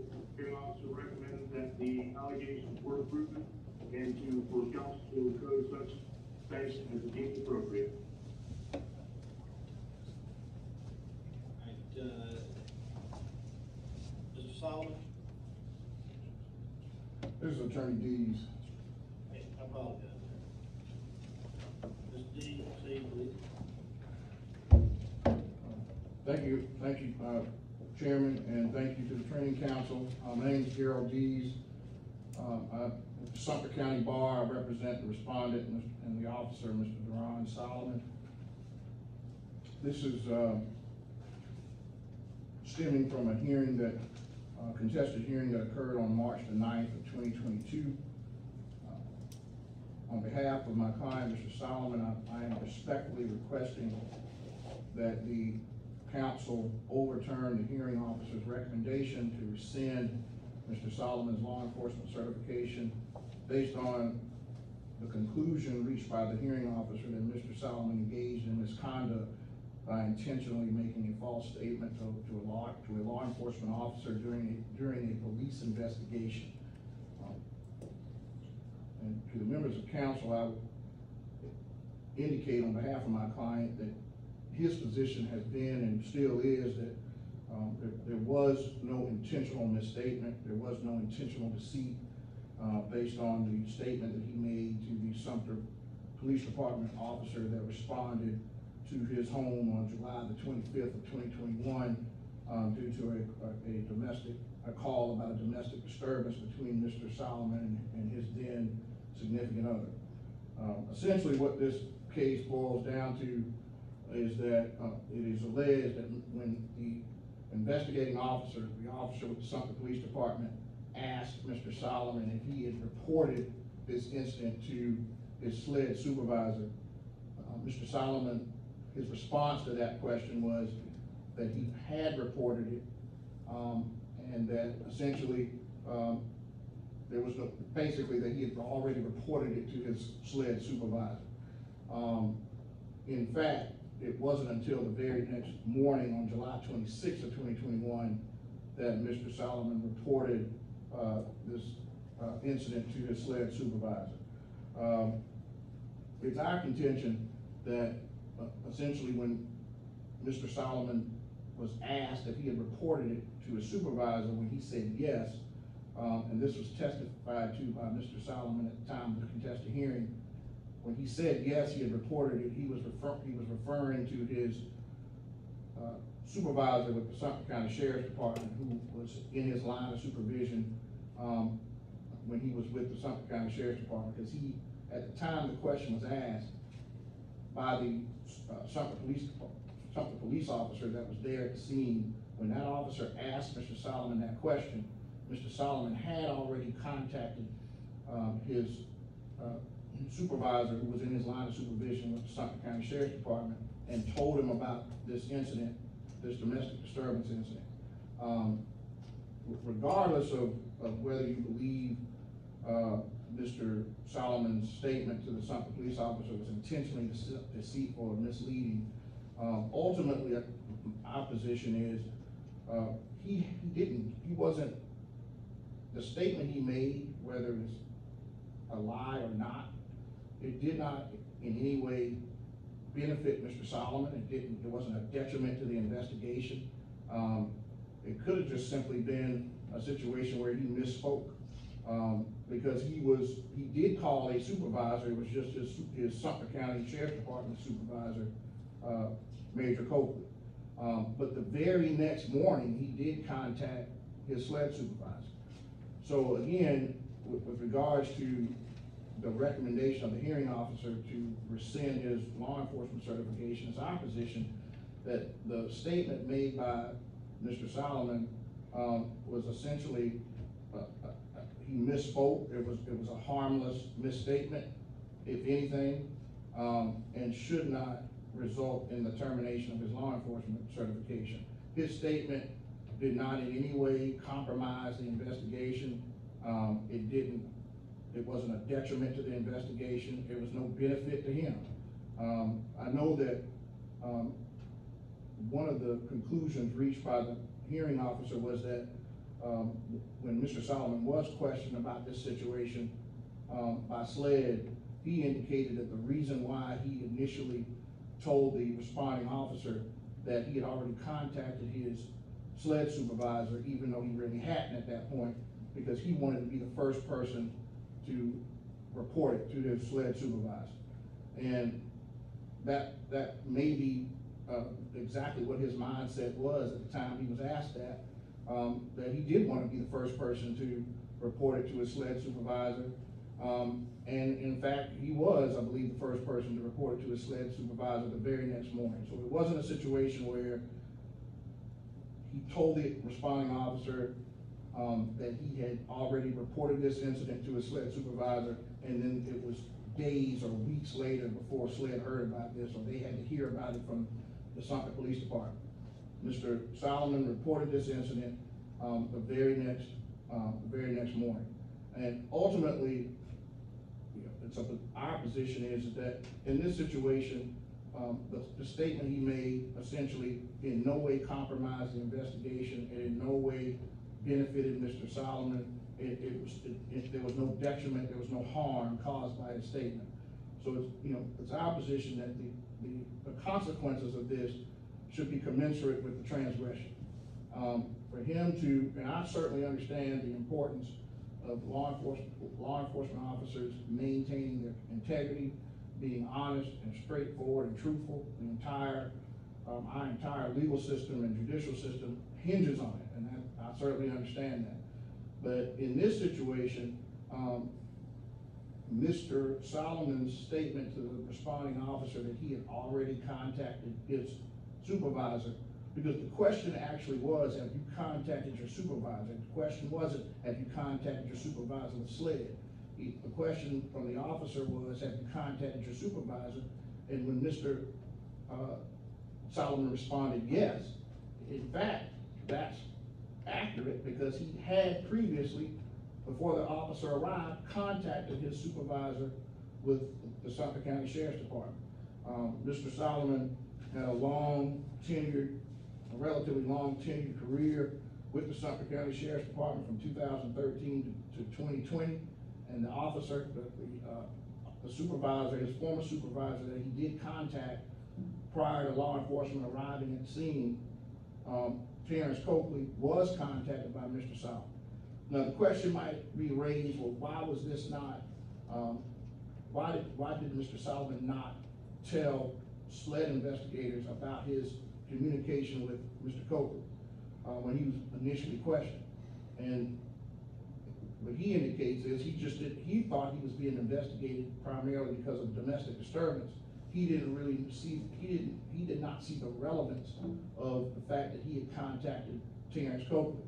Um, and that is why, um, his former supervisor, Mr. Copley, was not called as a witness at, at the time of the hearing, because quite frankly, I was not even aware myself until the day of the hearing that Mr. Solomon had contacted his, uh, his previous supervisor at the Sumter County Sheriff's Department the day of the incident prior to, the police arriving. So again, did he contact a supervisor prior to police arri- arriving? Yes.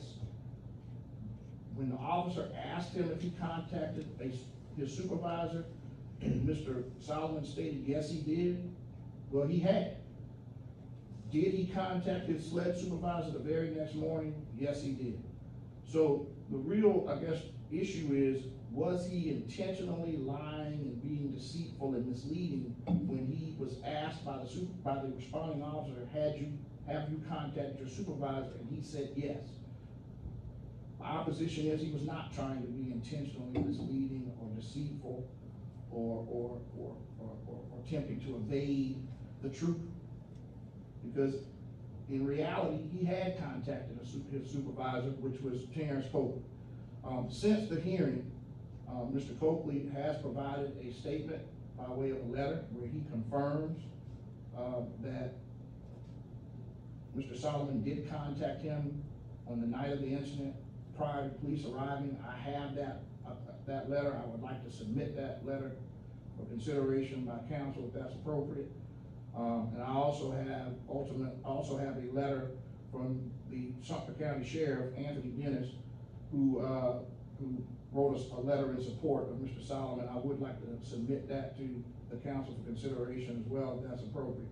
Um, ultimately, as I said, I believe it's well understood that it's imperative that law enforcement officers, um, are truthful, that they're honest, that they operate with the highest integrity. Uh, no one makes light of that requirement, and, and, and that, uh, and that is essentially, uh, unequivocal. It, it can't be compromised, or shouldn't be com- compromised. But the reality is, and the truth is, through body cam footage and other surveillance, um, methods, we know that there are times when officers don't tell the truth. They don't, um, always conduct themselves with, with high integrity or character. We see it, um, all the time. So the question is, when is it, Um, is it a, is it hundred percent of the time that, that when an officer doesn't tell the truth, that he is subject, he is subject to losing his law enforcement certification? Is that the absolute one hundred percent, um, result? Or are there circumstances where the totality of the situation must be considered?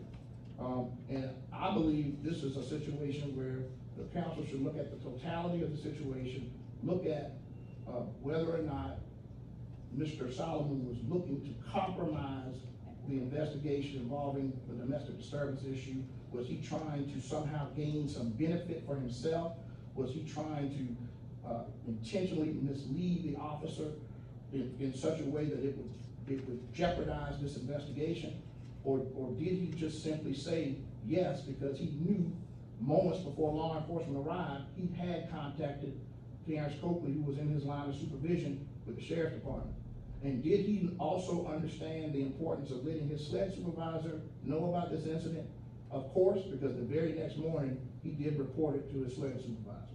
So I believe this is a situation where, the- where I'm asking the council to take a look at the totality of the situation, look at the circumstances surrounding it, and not just the, not just the cut and dry question of whether or not he misspoke when he was asked if he had notified his supervisor.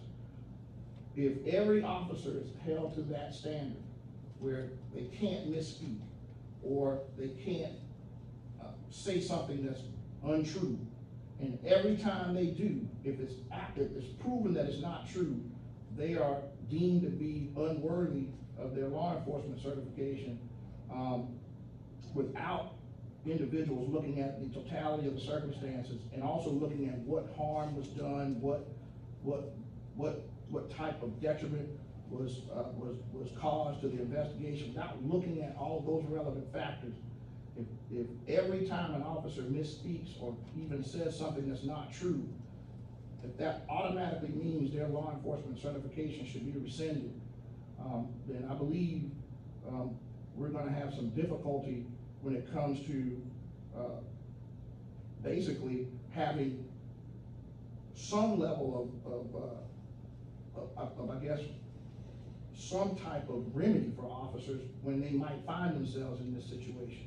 Um, or there has to be some way an officer who may have misspoke or told something or said something that, that's not true, even if that's been established, if it's, if it's also shown that this was not intentional, it wasn't, it wasn't, an- there was no ill will or ill intent, um, and essentially it was a harmless statement that didn't cause any harm or detriment, an officer in that situation should have an opportunity to get, to be given a second chance, to have another, have an opportunity to prove themselves to be worthy of that law enforcement certification, as opposed to every time an officer says an untruth, that automatically results in the, in the, in the termination of their, um, and the, their certification being rescinded. Thank you. Mr. Dean, stand by just one minute. Uh, I got a question for the attorney, Mr. Fennell. Would the presentation of his documentation at this venue be appropriate, or can we not take that? Sheriff, regulation thirty-seven one oh seven talks of final agency decision. And subsection D states council shall issue a final agency decision based on the evidence accepted during the contested case hearing, the applicable statutes and regulations. There is no mechanism to take evidence in after the hearing is closed.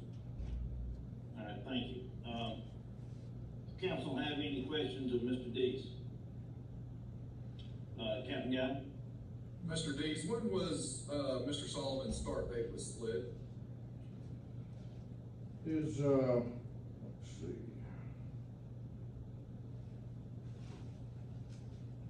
Council's indulgence for just a moment.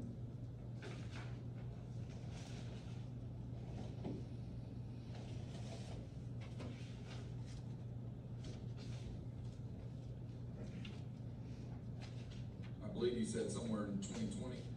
That is correct. He ended his career with the Sumter County Sheriff's Department. I'm sorry, start date was SLED was August the seventeenth of twenty twenty. I apologize. Thank you. Yes, sir. Any other questions? Okay, thank you, Mr. Dees. Yes, sir. Uh, Mr. Whitsett, uh, you representing SLED on this matter, uh, do you have anything you wish to please? Yes, Mr. Chairman, members of the training council, again, my name is Adam Whitsett, General Counsel of SLED. Here, asking that the council uphold and affirm the hearing officer's recommendation in this matter. The substantial evidence submitted established, I believe fairly clearly and unequivocally, that Mr. Solomon committed misconduct when he intentionally lied and provided false information to a Sumter police officer during the course of an official law enforcement investigation. And I will agree, intent is the key here.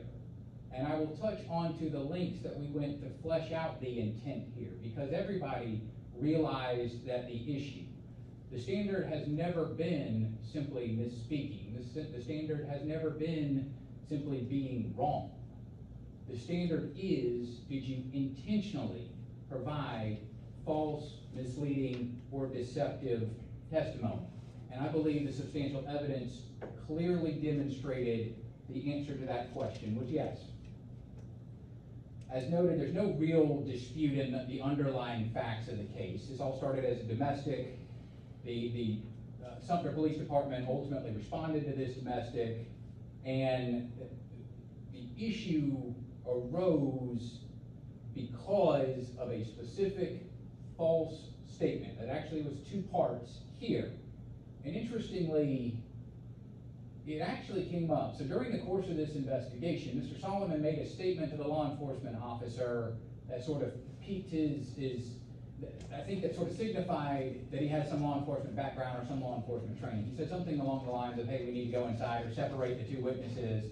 There was a statement that sort of jogged that. So they, they went inside the house ultimately get Mr. Solomon's statement while the other witness and other officer stayed outside to take the statement. And in the course of this conversation with the Sumter police officer, the question was, who do you work for? That was the question that was, that was asked. And in response, Mr. Solomon gave a, a two-sentence answer. Oh, SLED. I was with Sumter County.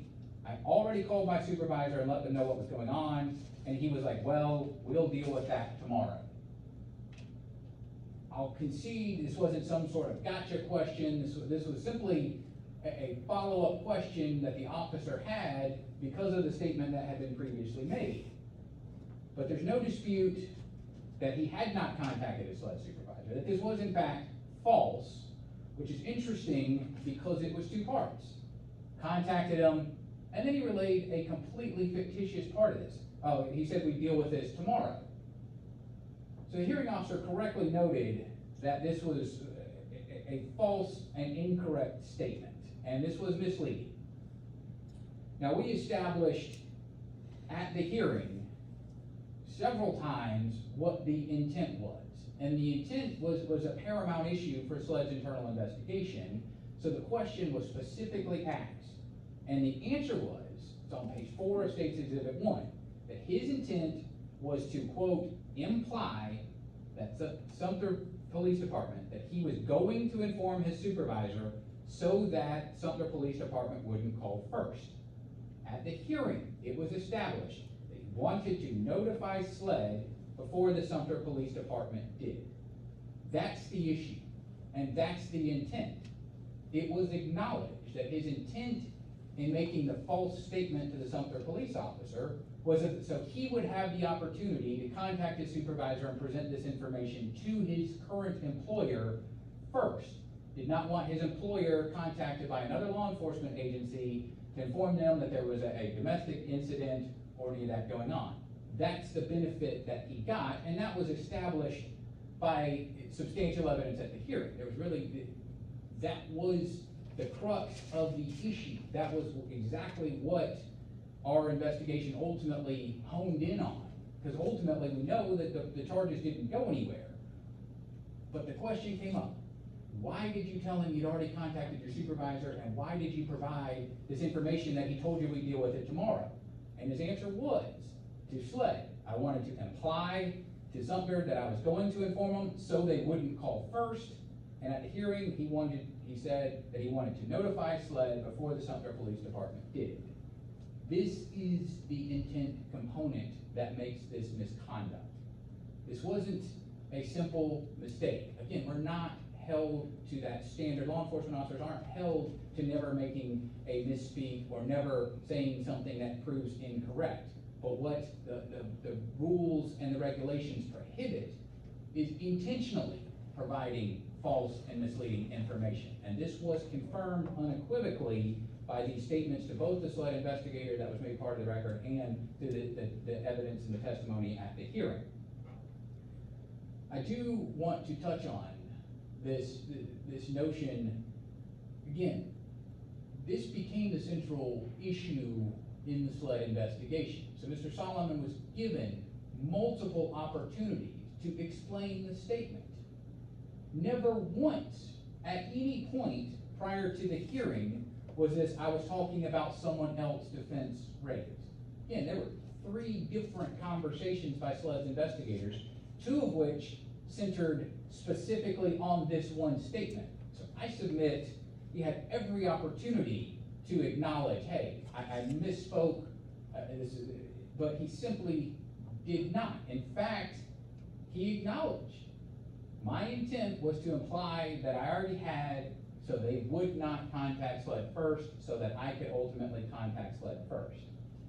I believe that the hearing officer correctly noted and, simply uh, acknowledged this wasn't a, a simple mistake or a misspeak. In Mr. Solomon's own words, he intentionally wanted to imply that something that he said was true, knowing in fact it was not true, so that he could contact SLED and he could get out in front of this with his own supervisors there. This wasn't a mistake. He had every opportunity, and unfortunately, this statement that was sort of not the central focus of the underlying criminal investigation ultimately was intentional misconduct, and it was a, a false statement made in the course of a law enforcement investigation with the intent to deceive the officer to whom it was spoken. I submit members of the council that is misconduct in South Carolina, and I ask that you uphold and affirm the hearing officer in the entirety. Thank you. Any questions from council on bill?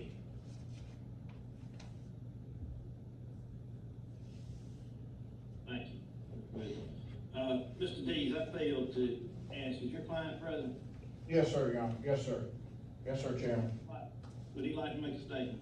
Let me confer with him just briefly.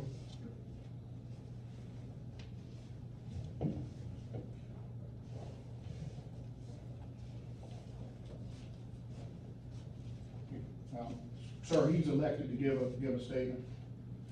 Good good morning, council. Oh, I'm sorry. Um, good morning, uh, Sheriff Foster and council.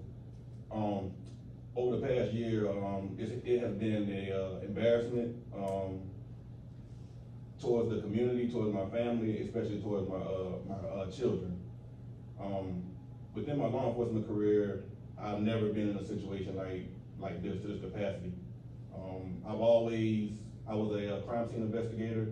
I've always upheld the law. I was always honest, always collected evidence, testified in court under oath, under honesty, and I was always that, that type of man. I was always a man first before a law enforcement officer. But, uh, it's just an unfortunate, unfortunate circumstance that, uh, I was, uh, I placed myself in, and, um, I take full responsibility for my actions. And, um, I plead to you today to, uh, don't revoke my uh, certification. Um, if law enforcement has been, uh, it's been something I've always wanted to do ever since I was a little boy. Um, to have that opportunity to, to, uh, to be an officer and help out the community and still help out the community to this day, even though, um, I mean, I, I haven't been in law enforcement this last year. It has been, um, it's been a eye opener and, um, I just hope you find it, uh, to, um, give me a second chance. And I really, uh, thank you for your time and your patience today. Thank you for your comments, uh, Mr. Solomon, thank you. Thank you, sir. Any questions of council? If not, uh, we'll, uh, entertain, pardon me, entertain a motion. Move to accept the hearing officer's recommendation of permanent device certification. We have a motion to permanently deny certification based on the hearing officer, second by Barry Faile. Any discussion at this time?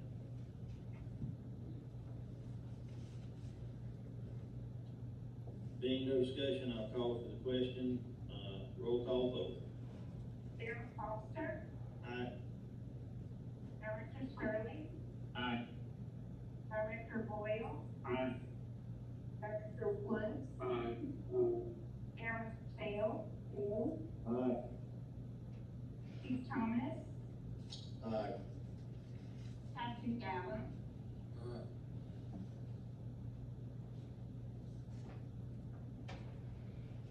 Uh, motion carries.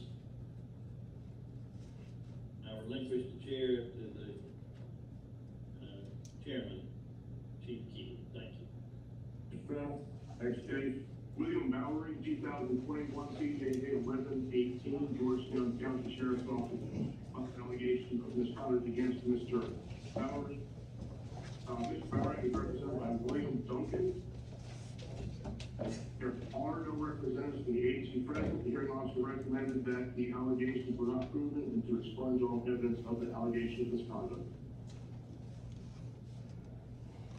Okay, uh, for the officer, Mr. Duncan, would be happy to hear from. Uh, Thank you. Uh, May it please the training council. I'm William Duncan. I've been a lawyer for thirty-four years in Georgetown County, and I'm here representing the best of the best. Um, Mr. Barley's uh, law enforcement career is in just under three years, but if you look at all his reviews, he had met or exceeded all expectations. He um, has the respect of his peers in the law enforcement community, and he had um, two of the officers that he worked with um, come testify about that he always respected and always treated the public with the ultimate respect. At some point, he is in a situation where he is with, may I hand me that, please? He's out in the middle of the night and, uh, he gets with a, a, a big fella, and, and this is exhibit number five. Um, and my client, I wanna say, me, he's a big fella, but this guy outweighs my client by hundred and twenty pounds. And he got in a tussle with him on the ground. And at this point, and I I also point you to exhibit five, um, which, excuse me, the exhibit, uh, four, which is this gentleman's arrest record where he has six DUIs, he's got a pointing and presenting a firearm, he's got a half dozen assault and batteries, where he knew he was dealing with a tough guy, and that at some point, he had him down, he had to put the handcuffs on him because he was afraid. He had told the person, look, stand at the back of the truck, um, for our own safety, and he had to go about what he was doing, because he had another arrest he was doing at the time. And this gentleman, with unfortunately, with the training officer standing there looking for him, goes back and steps in his vehicle. You can see it on the video, but he slips something into his left pocket.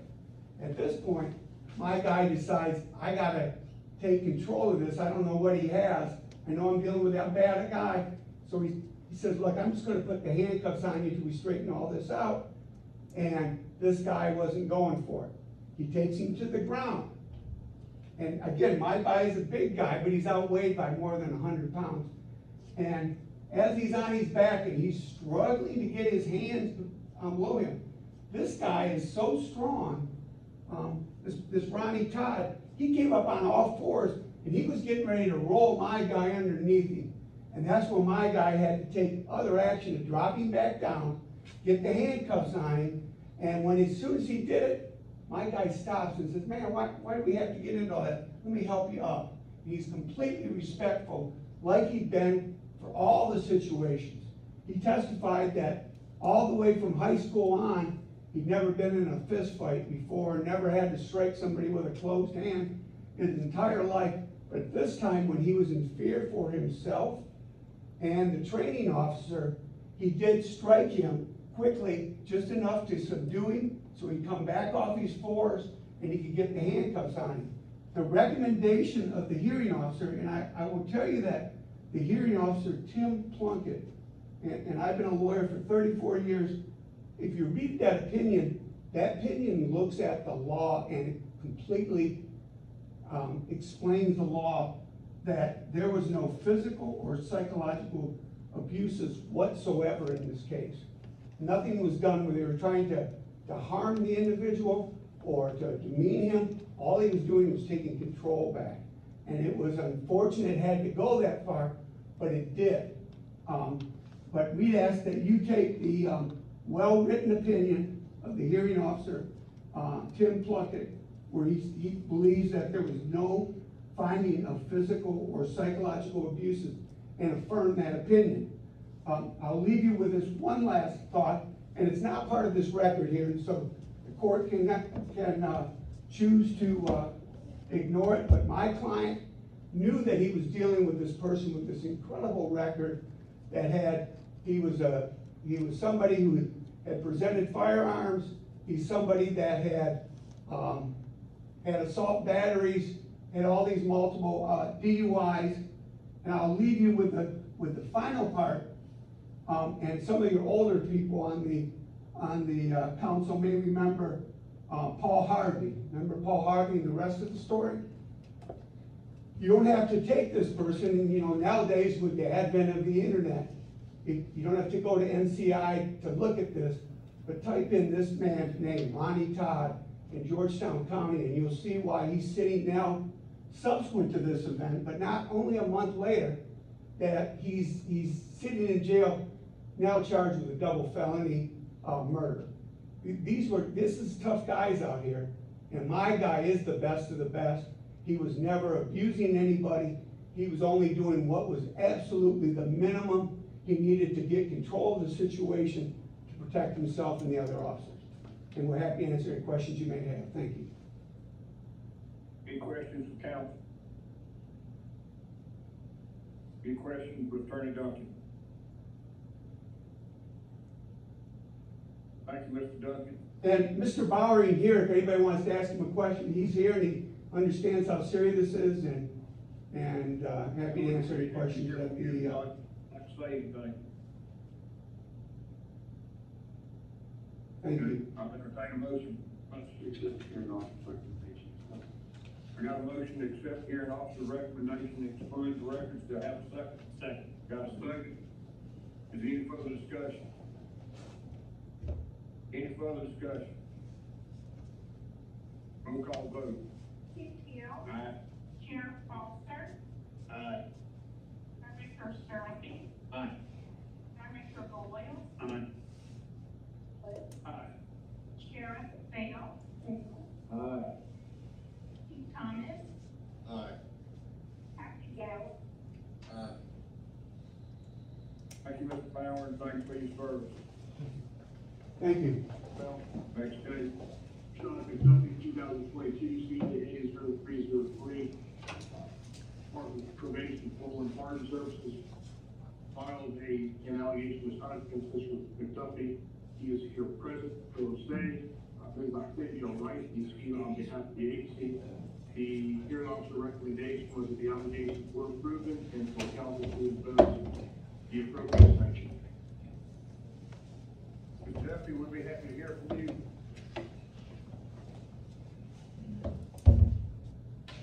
Uh, Good morning, you all. Uh, I won't be before you long.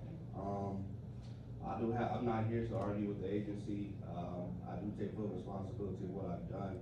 Um, when questioned about the video, I did, um, uh, confess to the agency that I, I did fast forward. Uh, took responsibility of going back and watching the video.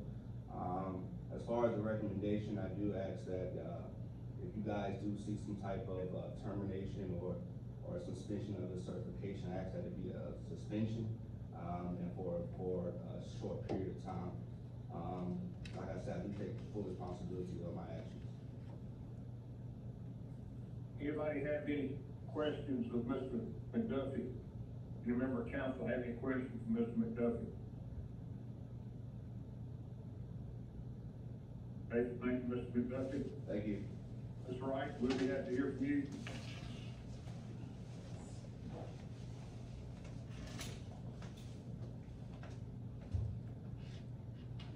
Good morning, um, members of the council, thank you for the opportunity to come before you in this matter. Um, it's an unfortunate case here with Ms. McDuffie, he just, uh, came forward and admitted, um,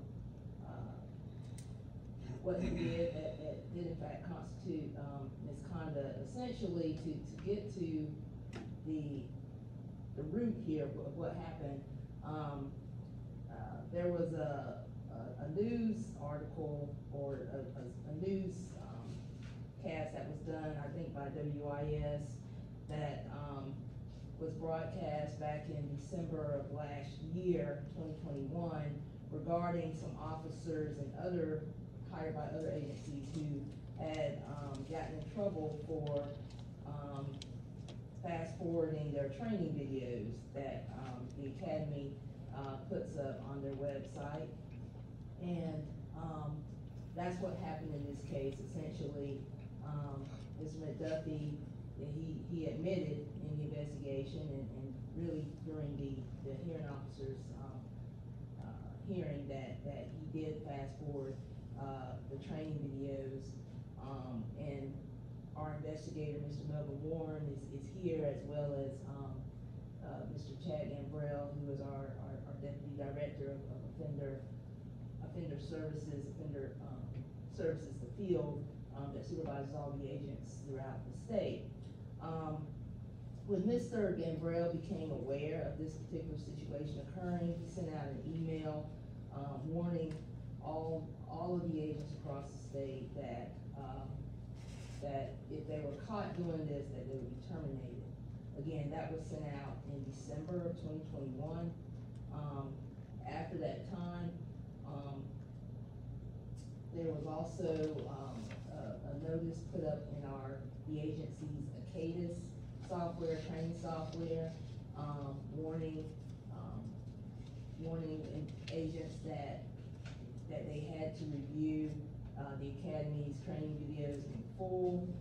Um, there was proof provided at the initial hearing that Mr. McDuffie did sign off, uh, on that, checking that he did in fact, um, view that warning as well as the fact that Mr. Gambrell's email was sent out in December twenty twenty-one, warning people, um, that if they did that, did that, they would in fact be terminated, and that is unfortunately what happened in this particular matter. Um, on behalf of the department, we would ask that, um, that this council uphold the, uh, hearing officer's recommendation, um, because we, we believe that there is, there was evidence, and there is evidence in this case, um, high preponderance of evidence to show that misconduct did in fact occur. Um, the training video, I believe, was set for to be a three, two to three hour video, and, and, um, through the evidence provided through the academy, uh, Mr. McDuffie only viewed about approximately twenty-eight minutes of that. So, I'll just, with, th- with that said, I will, um, close my discussion right now unless, uh, members of the council have any questions. Again, I do wanna mention that, um, Mr. Melvin Warren, our OPR internal investigator, is, who did the investigation on this matter, he's present if you have questions of him. And our deputy director, Mr. Gambrell, is also, um, present if you have questions of him as well.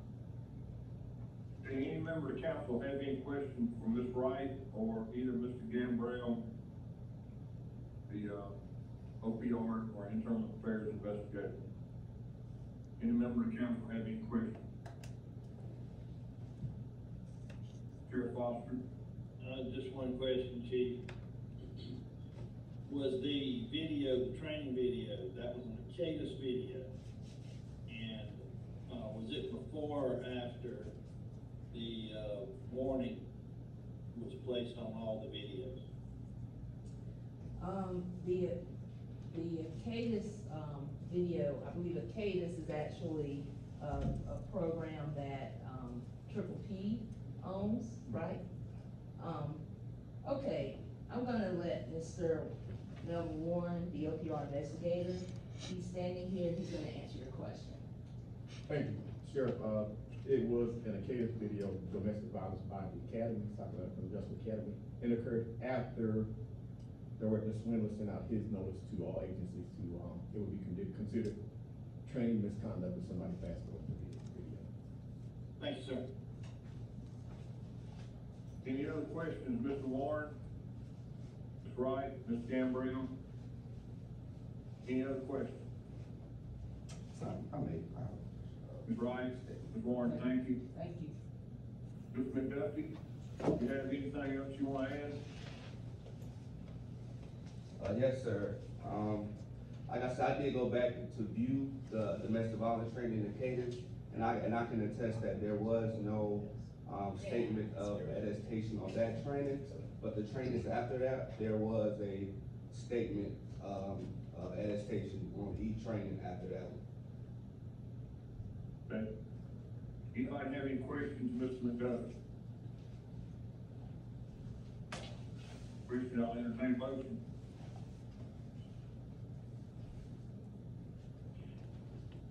If I move, we accept the hearing officer's report and uh, permanently deny eligibility.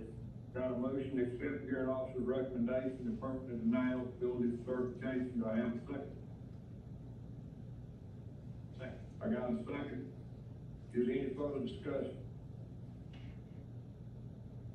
Is there any further discussion? Any other questions of council or Mr. McDuffie? Here's another roll call vote. Aye. Sheriff Foster. Aye. Aye. Director Stirling. Aye. Director Boyle. Aye. Director Woods. Aye. Sheriff Bell. Aye. Keith Thomas. Aye. Matthew Gower. Final next case. It's a suspension request for Carol Shannon, two thousand twenty-two, CJ zero seven eighteen, Worcester County Code Enforcement, uh, which is reported, we were notified of the arrest by Highland Falls for a DUI, uh, less than point one, and it's first offense. Okay, I'll entertain a motion. Make a motion, we accept, uh, the suspension. Got a motion to accept suspension, do I have a second? Got a second, Sheriff Faile. Is there any further discussion? Any further discussion? Roll call vote. Keith Hill. Aye. Sheriff Foster. Aye. Director Stirling. Aye. Director Woods. Sheriff Bell. Aye. Thomas. Aye. Matthew Gower. Aye. Next case. This is late acceptance request for a, an allegation of misconduct, uh, of Andrews against Mr. William Zercher, no assigned case number. It appears as though that the, an individual within the agency was given an order to file the paperwork against Mr. Zercher. Mr. Clemmel, if you could wait till